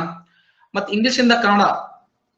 ಇಂಗ್ಲಿಷ್ ಇಂದ ಕನ್ನಡ ಇದೆಲ್ಲ ಸ್ವಲ್ಪ ಮೀನ್ಸ್ ಈ ತರ ಇಂಗ್ಲಿಷ್ ನ್ಯೂಸ್ ಪೇಪರ್ ಓದೋದಾಗ್ಲಿ ಫಾರ್ ಎಕ್ಸಾಂಪಲ್ ಈಗ ಇಂಗ್ಲಿಷ್ ಇಂದ ಕನ್ನಡ ಕನ್ನಡ ಇಂಗ್ಲಿಷ್ ಅಂತ ಹೇಳಿದಾಗ, ಒಬ್ಬ ವ್ಯಕ್ತಿ, ಒಬ್ಬ ಸಾಮಾನ್ಯ ವ್ಯಕ್ತಿ, ಒಬ್ಬ ಅವ್ರ ಹೈಯರ್ ಆಫೀಸರ್ಗೆ ನನ್ಗೆ ರಜೆ ಬೇಕು ಒಂದಿನ ದಿನ ಸಿ ಎಲ್ ಬೇಕು. ಸೊ ಅನ್ನೋದನ್ನ ಅವ್ನು ಯಾವ ತರ ಮಾಡ್ಬೋದು? So I have some urgent work ಅಥವಾ or domestic work due to illness I want to take one C L please kindly grant me one day C L it's sufficient ಒಬ್ಬ ವ್ಯಕ್ತಿಗೆ ನಿಮ್ಗೆ ಏನ್ ಬೇಕು ಅದನ್ನ ಕಮ್ಯುನಿಕೇಟ್ ಮಾಡ್ಬೇಕು ಇವ್ಯಾಲ್ಯೂಟರ್ಗೆ ಅದನ್ನ ಬಿಟ್ಟು ನೀವು ಜಾಸ್ತಿ ಏನೇನೋ ಬರ್ಕೊಂಡು ಕೂತಗಳಲ್ಲಿ ಅರ್ಥ ಇಲ್ಲ. ಯಾಕಂದ್ರೆ ಇಂಗ್ಲಿಷ್ ಇಂದ ಕನ್ನಡ ಕನ್ನಡ ಇಂಗ್ಲಿಷ್ ಅಲ್ಲಿ ಸಬ್ಜೆಕ್ಟ್ ವರ್ಬ್ ಆಬ್ಜೆಕ್ಟ್ ಇಂದ ಇರುತ್ತೆ. ಸೊ ನೀವು ಕನ್ನಡದಿಂದ ಇಂಗ್ಲಿಷ್ ಮಾಡುವಾಗ ಆಬ್ಜೆಕ್ಟ್ ಫಸ್ಟ್ ಬರ್ತದೆ. Just like passivise activise Raju Raju it's banana banana eaten by Raju. So ಈ ತರ. ನಿಮ್ ನಾಲೆಜ್ ಮೇಲೆ ನೀವು ಪ್ಯಾಸಿವೈಸ್ ಮ್ಯಾಗೆ ಕನ್ವರ್ಟ್ ಮಾಡ್ತಿರೋ ಆಕ್ಟಿವೈಸ್ ಕನ್ವರ್ಟ್ ಮಾಡ್ತಿರೋ, ಅರ್ಥ ಮಾತ್ರ ಸೇಮ್ ಇರಬೇಕು. ಸಿಂಪಲ್ ಆಗಿ ಬರಿಬೋದು ನೀವು. ಅದನ್ನ ಬಿಟ್ಟು ನಿಮಗೆ ಕೀಳರಿಮೆ ಬೇಡ. ನನಗೆ ಕನ್ನಡದಿಂದ ಬಂದನು ಕನ್ನಡ ಮಾಧ್ಯಮವನು ನನಗೆ ಇಂಗ್ಲಿಷ್ ಬರಲ್ಲ ಅಂತ ಕೀಳರಿಮೆ ಬೇಡ. ಆ ತರ ವೊಕ್ಯಾಬುಲರಿ ಡೌಟ್ ಇದ್ರೆ ನೀವು you can use easy easy language easy subjects ಬಹಳ ಡೀಪ್ ಆಗಿ ಇದು ವೆಕ್ಯಾಬುಲರಿ ವರ್ಡ್ಸ್ ಅಥವಾ ಬರೀ ಅವಶ್ಯಕತೆ ಇಲ್ಲ. ಈಸಿಯಾಗಿ ನಿಮ್ಮ ಮಾತೃಭಾಷೆಯಲ್ಲಿ ಅದು ಅವರಿಗೆ ಕಡಿಮೆ ಆಗ್ಬೇಕು. ಚೆಕ್ ಮಾಡೋರಿಗೆ ಕಡಿಮೆ ಆಗ್ಬೇಕು ಅಷ್ಟೇ. ಅದ್ಬಿಟ್ಟು ಹೈಫೈ ಇಂಗ್ಲಿಷ್ ನೋ ನನ್ನ ಪ್ರಕಾರ ಇಲ್ಲ. ಆತರ ಮನ್ಸಲ್ಲಿ ಏನಾದ್ರು ನೆಗೆಟಿವ್ ಥಾಟ್ಸ್ ಇದ್ರೆ ಬಿಟ್ಬಿಡಿ. ಆ ನೆಗೆಟಿವ್ ಥಾಟ್ಸ್ ಆತರ ತರ ನೆಗೆಟಿವ್ ಥಾಟ್ಸ್ ನಿಮ್ಗೆ ಏನ್ ಮಾಡ್ತವೆ? ನಿಮ್ಮ ಸಿಲೆಬಸ್ ಅಂದ್ರೆ ನಿಮ್ದು ಎಕ್ಸಾಮ್ ಪ್ರಿಪರೇಷನ್ ನಿಮ್ನ ಡೌನ್ ಮಾಡ್ಕೋತಾ ಬರ್ತವೆ. ಏನಂದ್ರೆ ಡೌನ್ ಇದೆ ಬಿಡಪ್ಪ ಡೌನ್ ಇದೆ ಬಿಡಪ್ಪ ಡೌನ್ ಇದೆ ಬಿಡಪ್ಪ. ನೋ ಆತರ ಯೂಸ್ ಮಾಡಲೇಬೇಡಿ ಯಾವುದೇ ಕಾರಣಕ್ಕೂ. ದುಂಡಾಗ ಅಕ್ಷರ ಬರಿಬಹುದು ಬರಿಬೇಕು. ಯಾಕಂದ್ರೆ ಫಸ್ಟ್ ಪೇಪರ್ ನಾನು ಇನ್ನು ಹದಿನೈದು ನಿಮಿಷ ಉಳಿಸಿದೆ ನಾನು. ಹದಿನೈದು ನಿಮಿಷ ಉಳಿಸಿ ಮತ್ತೆ ಅಂಡರ್ಲೈನ್ ಮಾಡಿದ್ದೆ. ಯಾವ ಸಬ್ಜೆಕ್ಟ್ ಯಾವ್ದು, ಏನ್ ವಿಷಯನ ನಾನು ಇವ್ಯಾಲ್ಯೂಟರ್ಗೆ ಕನ್ವೆ ಮಾಡ್ಬೇಕಂದ್ರೆ ನಾನು ಅಂಡರ್ಲೈನ್ ಮಾಡಿದೆ. ಹದಿನೈದು ನಿಮಿಷ ಯೂಸ್ ಮಾಡಿದೆ ಸೊ ನಿಮ್ಗೆ, ಆ, ಮತ್ತೆ English to Kannada Kannada English English ಇಂದ ಕನ್ನಡ ಸ್ವಲ್ಪ ಟಫ್ ಆಗುತ್ತೆ. First one one or two time ಓದ್ಕೊಳ್ಳಿ. ಅದು ನಿಮ್ಗೆ ಏನ್ ಅರ್ಥ ಆಗುತ್ತೆ. ನಿಮ್ಗೆ ಏನ್ ಅರ್ಥ ಆಗುತ್ತೆ? ಅದನ್ನ ಈಜಿ ಲ್ಯಾಂಗ್ವೇಜ್ ಅಲ್ಲಿ ಕನ್ವೆ ಮಾಡ್ಬೇಕು ನೀವು. ಅಂದ್ಬಿಟ್ಟು ಏಟ್, ಹಂಗೆ ಸಬ್ಜೆಕ್ಟ್ ವರ್ಬ್ ಆಬ್ಜೆಕ್ಟ್ ಅಂತ ಬರ್ತಲ್ಲ, ಅದೇ ರೀತಿ ಯಾವ ರೀತಿ ನೀವು ಮಾಡಕ್ ಹೋಗ್ತೀರಾ ಆತರ ಮಾಡಕ್ ಸಾಧ್ಯ ಆಗಲ್ಲ. ಫಸ್ಟ್ ಕ್ಲಿಯರ್ ಆಗಿ ಓದ್ಕೋಬೇಕು ಓದ್ಕೊಂಡು ನಿಮ್ಮ ವರ್ಡ್ ಅಲ್ಲಿ ಕೂಡ ಮೂವ್ ಮಾಡ್ಬೇಕು. ಈ ಒಂದು ಫೆಸಿಲಿಟಿ ಕೂಡ ಹಾಗೆ ತರ್ಟಿ ವರ್ಡ್ಸ್ ಅಲ್ಲಿ ಹಂಡ್ರೆಡ್ ವರ್ಡ್ಸ್ ಇದ್ರೆ ತರ್ಟಿ ವರ್ಡ್ಸ್ ಮಾಡ್ಬೇಕು. ಅದು ಕೂಡ ಅರ್- ಅರ್ಥಗರ್ಭಿತವಾಗಿರ್ಬೇಕು. ಸೊ ಅದು ಸಿಕ್ಕಾಪಟ್ಟಿ ಕೊಡ್ತಾರೆ. ನಿಮ್ಮನ್ನ ಡೈವರ್ಟ್ ಮಾಡಕ್ಕೋಸ್ಕರ ಅವರು ಸಿಕ್ಕಾಪಟ್ಟಿ ಕೊಟ್ಟಿರ್ತಾರೆ ಸಿಲೆಬಸ್ ಕೊಟ್ಟಿರ್ತಾರೆ ಓದಕ್ಕೆ. ಎರಡು ಪೇಜ್ ಮೂರು ಪೇಜ್ ಕೊಡ್ತಾರೆ. First one not two time ಓದಿ ಓದ್ಬಿಟ್ಟು ನೀವು ಯಾವ್ಯಾವ ವರ್ಡ್ ಅನ್ನ ನೀವು ಪ್ರಿಸೈಸಿಟಿಂಗ್ ಅಲ್ಲಿ ಕನ್ವೆ ಮಾಡಬೇಕು. ಫಾರ್ ಎಕ್ಸಾಂಪಲ್ ನೋಡಿ, ಈಗ ಇಶ್ಯೂ ಇರ್ತದೆ, ಒಂದು ಸ್ಥಳ ಇರ್ತದೆ, ಒಬ್ಬ ವ್ಯಕ್ತಿ ಹೆಸರು ಇರ್ತದೆ, ಅವನು ಕೂಡ ಇಂಪಾರ್ಟೆಂಟ್ ಆಗಿ ನೀವು ಅದರಲ್ಲಿ ಮೂವ್ ಮಾಡಲೇಬೇಕು. ಪ್ರಿಸೈಸ್ ಮೂವ್ ಮಾಡಲೇಬೇಕು. ಫಾರ್ ಎಕ್ಸಾಂಪಲ್ ಈಗ ರಾಮನು ಹದಿನಾರು ವರ್ಷ ತಮ್ಮ ತಮ್ಮ, ಅಣ್ಣ, ತಂಗಿ ಸೀತೆ, ತಮ್ಮನ ಜೊತೆಗೆ ಹಿಂಗ್ ಹೋದ್ ಅನ್ನುವಂತ ಒಂದು ಇಪ್ಪತ್ತು ವರ್ಡ್ ಇರ್ತದೆ. ಅದನ್ನ ನೀವು ಸಿಂಪಲ್ ಆಗಿ ಮಾಡ್ಬೇಕು. ರಾಮನು ಹದಿನಾರು ವರ್ಷ ವನವಾಸಕ್ಕೆ ಹೋದನು. That simple that's universal truth ಹದಿನಾರು ವರ್ಷ ವನವಾಸ, ವನವಾಸಕ್ಕೆ ಹೋದ್ರು, ಅವ್ರ ತಮ್ಮನ ಜೊತೆಗೆ ಹೋದ್ರು ಅವ್ನ ಹಿಂದಿ ಜೊತೆಗೆ ಹೋದ್ರು ಅನ್ನೋದು ಅದು ಇನ್ನಷ್ಟು ಟ್ರೂತ್ ಅದು. ಸೊ ಈ ತರ ಕಡಿಮೆ ಮಾಡ್ಬೇಕು. ಇಪ್ಪತ್ತು ವರ್ಡನ್ನ ಮೂರು ವರ್ಡಲ್ಲಿ ಮಾಡ್ಬೇಕು. ಇಪ್ಪತ್ತೊಂದು ನಾಲ್ಕೈದು ವರ್ಡಲ್ಲಿ ಮಾಡ್ಬೇಕು. ಈ ತರ ನೀವು ಇದು ಮಾಡ್ಬೇಕು. ಯಾವುದು ಪ್ರಿಸರ್ ರೇಟಿಂಗ್ ಅಲ್ಲಿ. ಮತ್ತೆ ಕೆಲವರಿಗೆ ಡೌಟ್ ಇರ್ತದೆ. ಆ ಕೊಟ್ಟಿರ್ತಕ್ಕಂಥ ಎಲ್ಲಾ ಬಾಕ್ಸ್ ತುಂಬಿಸ್ಬೇಕಾ? ಖಾಲಿ ಬಿಡ್ಬೇಕಾ ಬೇಡವಾ ಅಂತ ಹಂಡ್ರೆಡ್ ಪರ್ಸೆಂಟ್ ಡೌಟ್ ಇರ್ತದೆ ಕೆಲವರಿಗೆ. ಆ ತರ ಇರಲ್ಲ. ಒನ್ ತರ್ಡ್ ಅದು ಅರ್ಧಕ್ಕೆ ಮುಗಿಬಹುದು ಮುಕ್ಕಾಲು ಭಾಗಕ್ಕೆ ಮುಗಿಬಹುದು ಫುಲ್ ಮುಗಿಬಹುದು ಹೇಳಕ್ಕಾಗಲ್ಲ. ಸೊ ಇವನ್ನೆಲ್ಲ ನೀವು ಜಡ್ಜ್ ಮಾಡ್ಬೇಕು. ಇವನ್ನೆಲ್ಲ ಜಡ್ಜ್ ಮಾಡ್ತಕ್ಕಂಥ ಈ ನಾಲೆಜ್ ಅನ್ನ ನೀವು ಬೆಳೆಸ್ಕೋಬೇಕು. ಜಸ್ಟ್ ಲೈಕ್ ಈ ತರ ಇಂಟರ್ವ್ಯೂ ಯಾವ್ದಾದ್ರು ಇಂಟರ್ವ್ಯೂ ಜೊತೆಗೆ ಆಗ್ಲಿ ಆ, ಕೆಲವೊಬ್ರದ್ದು ಈಗ ಮೋಟಿವೇಶನ್ ಸ್ಪೀಚ್ ಇರುತ್ತೆ ಕೆಲವೊಬ್ರದ್ದು ಆ ತರ ಇದರಲ್ಲಿ ನೋಡಿ ಕೇಳ್ಬೇಕು ಕ್ವಶನ್ ಕೇಳ್ಬೇಕು ನೋಡ್ಕೊಂಡ್ಬಿಟ್ಟು ಕಲ್ಕೋಬೇಕು ಆಕ್ಚುಲಿ ಆ ತರ ಡೌಟ್ ಏನಿಲ್ಲ. ಅರ್ಧಕ್ಕೆ ಮುಗಿಸ್ಬೋದು ಮುಕ್ಕಾಲ್ ಪಕ್ಷ ಮುಗಿಸ್ಬೋದು ಅದು ಬಟ್ ಒಂದ್ ತರ್ಡ್ ಇರ್ಬೇಕಷ್ಟೇ. ಕೊಟ್ಟಿರ್ತಕ್ಕಂಥ ಫಸ್ಟ್ ಒಂದ್ ತರ್ಡ್ ಮುಗಿಸ್ಬೇಕಷ್ಟೇ ಅದಿರೋದು ಥ್ಯಾಂಕ್ ಯು ಶ್ರೀನಿವಾಸ್ ಅವರೇ ಇಲ್ಲಿ ನೋಡಿ ನಿಮ್ಗೆ ಹೇಳಿದ್ರು ಏನು ಸರ್ ಯಾವ್ದು ಇಲ್ಲಿ ಸಬ್ಜೆಕ್ಟ್ ಒಂದ್ ನಿಮಿಷ. ಈಗ ಐದು ಪ್ರಬಂಧ ಇರ್ತದೆ. ಫಸ್ಟ್ ಪೇಪರ್ ಐದು ಪ್ರಬಂಧ ಇರ್ತದೆ. ಸೊ ಯಾವ ತರ ಇರುತ್ತೆ ಪ್ರಬಂಧ ಅಂದ್ರೆ ಎಲ್ಲಾ ಪ್ರಬಂಧನು ಕೂಡ ನೀವು ಓದಿರ್ತೀರಾ? ಎಲ್ಲಾ ಪ್ರಬಂಧದ ಬಗ್ಗೆ ನಾಲೆಜ್ ಇರ್ತದೆ. But first three four minutes ನೀವು ಏನ್ ಮಾಡ್ಬೇಕಂದ್ರೆ, ನಿಮಗೆ ಅಮೌಂಟ್ ಫೈವ್ ಎಸ್ ಸಬ್ಜೆಕ್ಟ್ ಅಲ್ಲಿ ನಿಮಗೆ ನಾಲೆಜ್ ಯಾವ ಜಾಸ್ತಿ ಇದೆ? ಅದ್ ಮಾಡ್ಬೇಕು. ಎಲ್ಲರೂ ಬರೀತಾ ಅಂತ ಬರೆಯಕ್ ಹೋಗ್ಬೇಡಿ, ದಯವಿಟ್ಟು ಬರೆಯಕ್ ಹೋಗ್ಬೇಡಿ.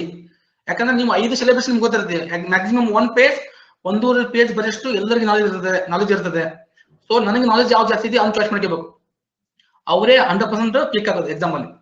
ಸೊ ನಾವು ಕೂಡ ಐದು ಓದಿದ್ದೆ, ಒಂದು ಐದು ಸಿಲೆಬಸ್ ಐದು ಓದಿದ್ದೆ ನಾನು ಪ್ರಬಂಧ. ಐದು ಬಗ್ಗೆ ನಾಲೆಜ್ ಇತ್ತು. ಸೊ ನನಗೆ ಅದು ಅದೇ ಇತ್ತೀಚೆಗೆ ಭಾರತ ಸರ್ಕಾರ ಕೈಗೊಂಡಿರ್ತಕ್ಕಂಥ ಆರ್ಥಿಕ ಸುಧಾರಣೆಗೆ ಕೈಗೊಂಡಿರ್ತಕ್ಕಂಥ ಕ್ರಮಗಳು ಯಾವುದು ಅಂತ ಅದೇ ನೋಟ್ ಬ್ಯಾನಿಂಗ್ ತಗೊಂಡು ಸೆಲೆಕ್ಷನ್ ಮಾಡಿದೆ. ಅದೊಂದು ಐದು ಐದು ಪೇಜ್ ಬರ್ದೆ. ಅದರಿಂದ ನನಗೆ ಫಸ್ಟ್ ಪೇಪರ್ ಅಲ್ಲಿ ಫಾರ್ಟಿ ಮಾರ್ಕ್ಸ್ ಬಂದಿದೆ.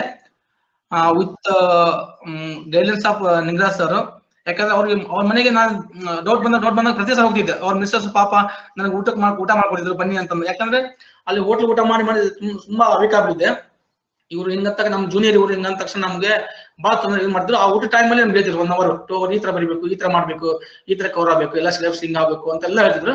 ಸೊ ಅವ್ರ ಗೈಡೆನ್ಸ್ ಕೂಡ ನಾನು ಇವತ್ತು ನಾನು ಪಿ ಎಸ್ ಆಗಿದ್ದೀನಿ. Thankful to ನಿಂಗಾಜನ thank you Srinivas thank you ಇಲ್ಲ, ಇಲ್ಲಿ ಏನ್ ಗೊತ್ತಾ?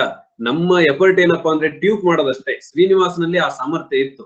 ಅವರಲ್ಲಿ ಆ ಒಂದು ಭಾವನೆ ಇತ್ತು, ನಾನು ಹೋಗ್ಲೇಬೇಕು ಸರ್ವಿಸ್ಗೆ ಅಂತ. ಯಾಕಂದ್ರೆ ನನಗೆ ಏನು ಮೋಟಿವೇಶನ್ ನನಗೂ ಕೂಡ ಅವ್ರ ಮೋಟಿವೇಶನ್ ಹತ್ತು ವರ್ಷ ಸರ್ವಿಸ್ ಆದ್ಮೇಲೆ ಯಾರು ಕೂಡ ನನ್ ಬೇರೆ ಯಾವ ಹುದ್ದೆನೂ ಬೇಡಪ್ಪ ಅಂತೇಳಿ ಅದರಲ್ಲೇ ಕುತ್ಕೊಳ್ತಾರೆ. ಬಟ್ ಅವ್ರು ಕುತ್ಕೊಳ್ಳಿಲ್ಲ ಹತ್ತು ವರ್ಷ ಸರ್ವಿಸ್ ಅಲ್ಲಿ ಆದ್ರೂ ಕೂಡ, ಅಲ್ಲಿ ಒಳ್ಳೆ ಸಂಬಳ ಇದ್ರು ಕೂಡ ಪಿ ಎಸ್ ಐ ಆಗ್ಬೇಕು, ನಾ ಡ್ರೆಸ್ ಹಾಕೊಳ್ಳೇಬೇಕಣ್ಣ ನಾನು ಅಂತೇಳಿ ತುಂಬಾ ಹಾರ್ಡ್ ವರ್ಕ್ ಮಾಡೋರು. ಹಗಲು ರಾತ್ರಿ ಕುತ್ಕೊಂಡು ಹೋದ್ರು, ಹದಿನೆಂಟು ತಾಸು, ಹದಿನೇಳು ತಾಸು ಓದಿರೋದನ್ನ ಓದಿರೋದವರು ನನ್ಗೆ ಗೊತ್ತಿದೆ. ಓಕೆ ಯಾಕಂದ್ರೆ ಒಂದು ತಿಂಗಳಲ್ಲಿ ಇಡೀ ಸಿಲೆಬಸ್ ಮುಗಿಸೋದು ಅಷ್ಟು ಸುಲಭ ಅಲ್ಲ.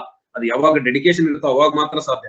ಓಕೆ ಸೊ ಯಾವಾಗ್ಲೂ ಆ ಏನು ಅದು ಒಂದು ಕಲ್ಲಿಗೆ ಉಳಿಪೆಟ್ಟು ಬಿದ್ದಾಗ ಅದು ಪಾಲಿಸ್ ಆಗಿ ಹಾ, ಒಂದು ಮೂರ್ತಿ ಆಗತ್ತಲ್ಲ ಹಾಗೆ ನಿಮ್ಗೆ ಆ ಸಂದರ್ಭ ನೋಡಿ ಅವ್ರಿಗೆ ಅದೇ ಲಾಸ್ಟ್ ಅಟೆಂಪ್ಟ್ ಏಜ್ ಮತ್ತಿಲ್ಲ ಓಕೆ ಮತ್ತೆ ಸಿಗಂಗಿಲ್ಲ. ಓಕೆ ಅದೇ ಸರಿ ಹೆಚ್ಚು ಮಾಡಿದ್ರೆ ಇದೊಂದು ಅವಕಾಶ ನಾನು ಬಿಡಬಾರ್ದು ಅಂತ ಒಂದು ಡೆಡಿಕೇಶನ್ ಇಂದ ಓದಿದ್ರು ಜೊತೆಗೆ ನಿಮ್ಗೆ ಇಲ್ಲಿ ಹೇಳಿದ್ರು ಅವ್ರು ಅವ್ರ ಅನುಭವದಿಂದನೇ ಹೇಳಿದ್ರು. ಎಸ್ ಎ ತಗೊಳ್ಬೇಕಾದ್ರೆ ನಿಜವಾಗ್ಲೂ ನಿಮ್ಗೆ ಏನ್ ಕರೆಕ್ಟ್ ಆಗಿ ಮಾಹಿತಿ ಇದೆ? ಐದು ಕೊಟ್ಟಿರ್ತಾನೆ ಐದನ್ನು ಬರೆಯೋ ಸಾಮರ್ಥ್ಯ ನಿಮ್ಗೆ ಇರುತ್ತೆ ಬಟ್ ಆದ್ರೆ ತುಂಬಾ ಚೆನ್ನಾಗಿ ಯಾವ್ದಕ್ ಬರ್ತೀರಾ? ಅದನ್ನ ಆಯ್ಕೆ ಮಾಡ್ಕೊಳ್ಳಿ ಅಂತ ಹೇಳಿದ್ರು. ಹೌದಾ? ನೆಕ್ಸ್ಟ್ ಏನು? Essay translation precise writing so ಒಂದೇ ದಿವಸಕ್ಕೆ ನೀವು ಮಾಡ್ತೀರಿ ಅಂದ್ರೆ ಆಗೋದಿಲ್ಲ. ಸೊ ಅದನ್ನ ದಿನಂಪ್ರತಿ ಮಾಡಿ, ದಿನಂಪ್ರತಿ ನಿಮ್ಗೆ ತಯಾರಿ ಮಾಡ್ಕೊಳ್ಳಿ ಅದಕ್ಕೆ. ಅದು ಕೂಡ ಇಂಪಾರ್ಟೆಂಟ್ ಓಕೆ ನೆಕ್ಸ್ಟ್ ಏನು? ಪ್ರಿಸೈಸ್ ರೇಟಿಂಗ್ ಹೇಳಿದ್ರು. ಓಕೆ ಟ್ರಾನ್ಸ್ಲೇಷನ್ ಪ್ರತಿದಿನ ನೀವು ತಯಾರಿ ಮಾಡ್ಕೊಳ್ಳೇಬೇಕು. ಒಂದು ಪೇಜ್ ಅನ್ನ ಕನ್ನಡದಲ್ಲಿ ತಗೊಂಡು ಅದನ್ನ ಇಂಗ್ಲಿಷ್ಗೆ ಇಂಗ್ಲಿಷ್ ಇಂದ ಕನ್ನಡಕ್ಕೆ. ಓಕೆ ವೀಕ್ ಇದ್ದಾಗ ಅದನ್ನ ಸುಲಭ ಮಾಡ್ಕೊಳ್ಳೋದು. ಅದನ್ನ ಅರ್ಥ ಮಾಡ್ಕೊಂಡು ಎದ್ರಲ್ಲಿ ನಾನು ವೀಕ್ ಇದೀನಿ ಅಂತ ತಿಳ್ಕೊಂಡು ಅದನ್ನ ಇಂಪ್ರೂವ್ ಮಾಡ್ಕೊಳ್ಳೋದು. ನೆಕ್ಸ್ಟ್ ಟ್ರಾನ್ಸ್ಲೇಷನ್ ಹೇಳಿದ್ರು. ಟ್ರಾನ್ಸ್ಲೇಷನ್ ನೂರು ಪದಗಳಲ್ಲಿ ಕೊಟ್ರೆ ನೀವು ಅದನ್ನ ಮೂವತ್ತ್ ಮೂರು ಪದಗಳಲ್ಲಿ ಸಣ್ಣ ಸಂಕ್ಷಿಪ್ತ ಮಾಡಿ ಕೊಡ್ಬೇಕು. ಸೊ ಗೊತ್ತಿದೆ ಅವರು ಶ್ರೀನಿವಾಸ್ ಯಾಕೆ ಅದನ್ನ ವ್ಯವಸ್ಥೆ ಇಟ್ಟಿದ್ದಾರೆ ಅಂತ, ಹೌದಾ? ನಿಮ್ಮ ಭಾಷಾ ಕೌಶಲ್ಯವನ್ನು ತಿಳಿದುಕೊಳ್ಳೋದಕ್ಕೆ ನಾಳೆ ನಿಮ್ಗೆ ಯಾವುದೇ ಒಂದು ರಿಪೋರ್ಟ್ ಅನ್ನು ಕೊಟ್ಟು, ಒಂದು ಸಾವಿರ ಪೇಜ್ ರಿಪೋರ್ಟ್ ಕೊಟ್ಟು ನೀವು ಒಂದು ಒಂದು ವಾರದಲ್ಲಿ ಅದರ ಅಪ್ಡೇಟ್ ಮಾಡ್ರಪ್ಪ ಹೈಯರ್ ಅಥಾರಿಟಿಗೆ ಅಂತ ಕೊಟ್ಟಾಗ ನೀವು ಅದನ್ನ ಕರೆಕ್ಟ್ ಆಗಿ ನೀಟಾಗಿ ಓದ್ಕೊಂಡು, ಅರ್ಥ ಮಾಡ್ಕೊಂಡು ಸಂಕ್ಷಿಪ್ತವಾಗಿ ಹೈಯರ್ ಅಥಾರಿಟಿಗೆ ಅಪ್ಡೇಟ್ ಮಾಡ್ಬೇಕಾಗುತ್ತೆ. ಸೊ ಆ ಒಂದು ಇಟ್ಕೊಂಡು ಓಕೆ ಸೊ ಅದನ್ನ ಭಾಷಾ ಕೌಶಲ್ಯ ಇದ್ರೆ ಮಾತ್ರ ಮಾಡೋದಕ್ಕೆ ಸಾಧ್ಯ. ಅದಕ್ಕೆ ಈ ಒಂದು ಪರೀಕ್ಷೆನ ಇಟ್ಟಿರ್ತಾರೆ. ಸೊ ಅದನ್ನ ನೀವು ಹೇಗ್ ಮಾಡ್ಬೇಕಂತ ಕೂಡ ಹೇಳಿದ್ರು. ಸೊ ಅದನ್ನ ಸಾಮಾನ್ಯವಾಗಿ ನಿಮ್ಗೆ ಸಿಂಪಲ್ ಆಗಿ ಎಲ್ಲರಿಗೂ ಗೊತ್ತಿರುತ್ತದೆ ಸಂಕ್ಷಿಪ್ತ ಬರಹ ಅಥವಾ ಸಾರಾಂಶ ಬರಹ ಅಂತ. ಹೌದಾ? ಸೊ ಅದನ್ನ ಅವ್ರು ಹೇಗ್ ತಯಾರಿ ಮಾಡ್ಕೊಂಡ್ರು ಯಾವ ತರ ಎದುರಿಸಿದ್ರು ಅಂತ ಕೂಡ ಹೇಳಿದ್ರು. ಓಕೆ ಆಮೇಲೆ ಸಾಮಾನ್ಯವಾಗಿ ಶ್ರೀನಿವಾಸ್ ಅವರು ಇನ್ನೊಂದು ನಿಮ್ಗೆ ನಿಮ್ಗೂ ಕೂಡ ಗೊತ್ತಿರುತ್ತೆ ನಿಮ್ ಜೊತೆ ಓದೋರು ಬಹಳ ಜನ ಸೆಲೆಕ್ಷನ್ ಆಗಿದ್ದಾರೆ ಕೆಲವರು ಸೆಲೆಕ್ಟ್ ಆಗಿಲ್ಲ ಹೌದಾ? ಅವ್ರು ಸಾಮಾನ್ಯವಾಗಿ ಮಾಡ್ತಕ್ಕಂತ ತಪ್ಪುಗಳೇನು?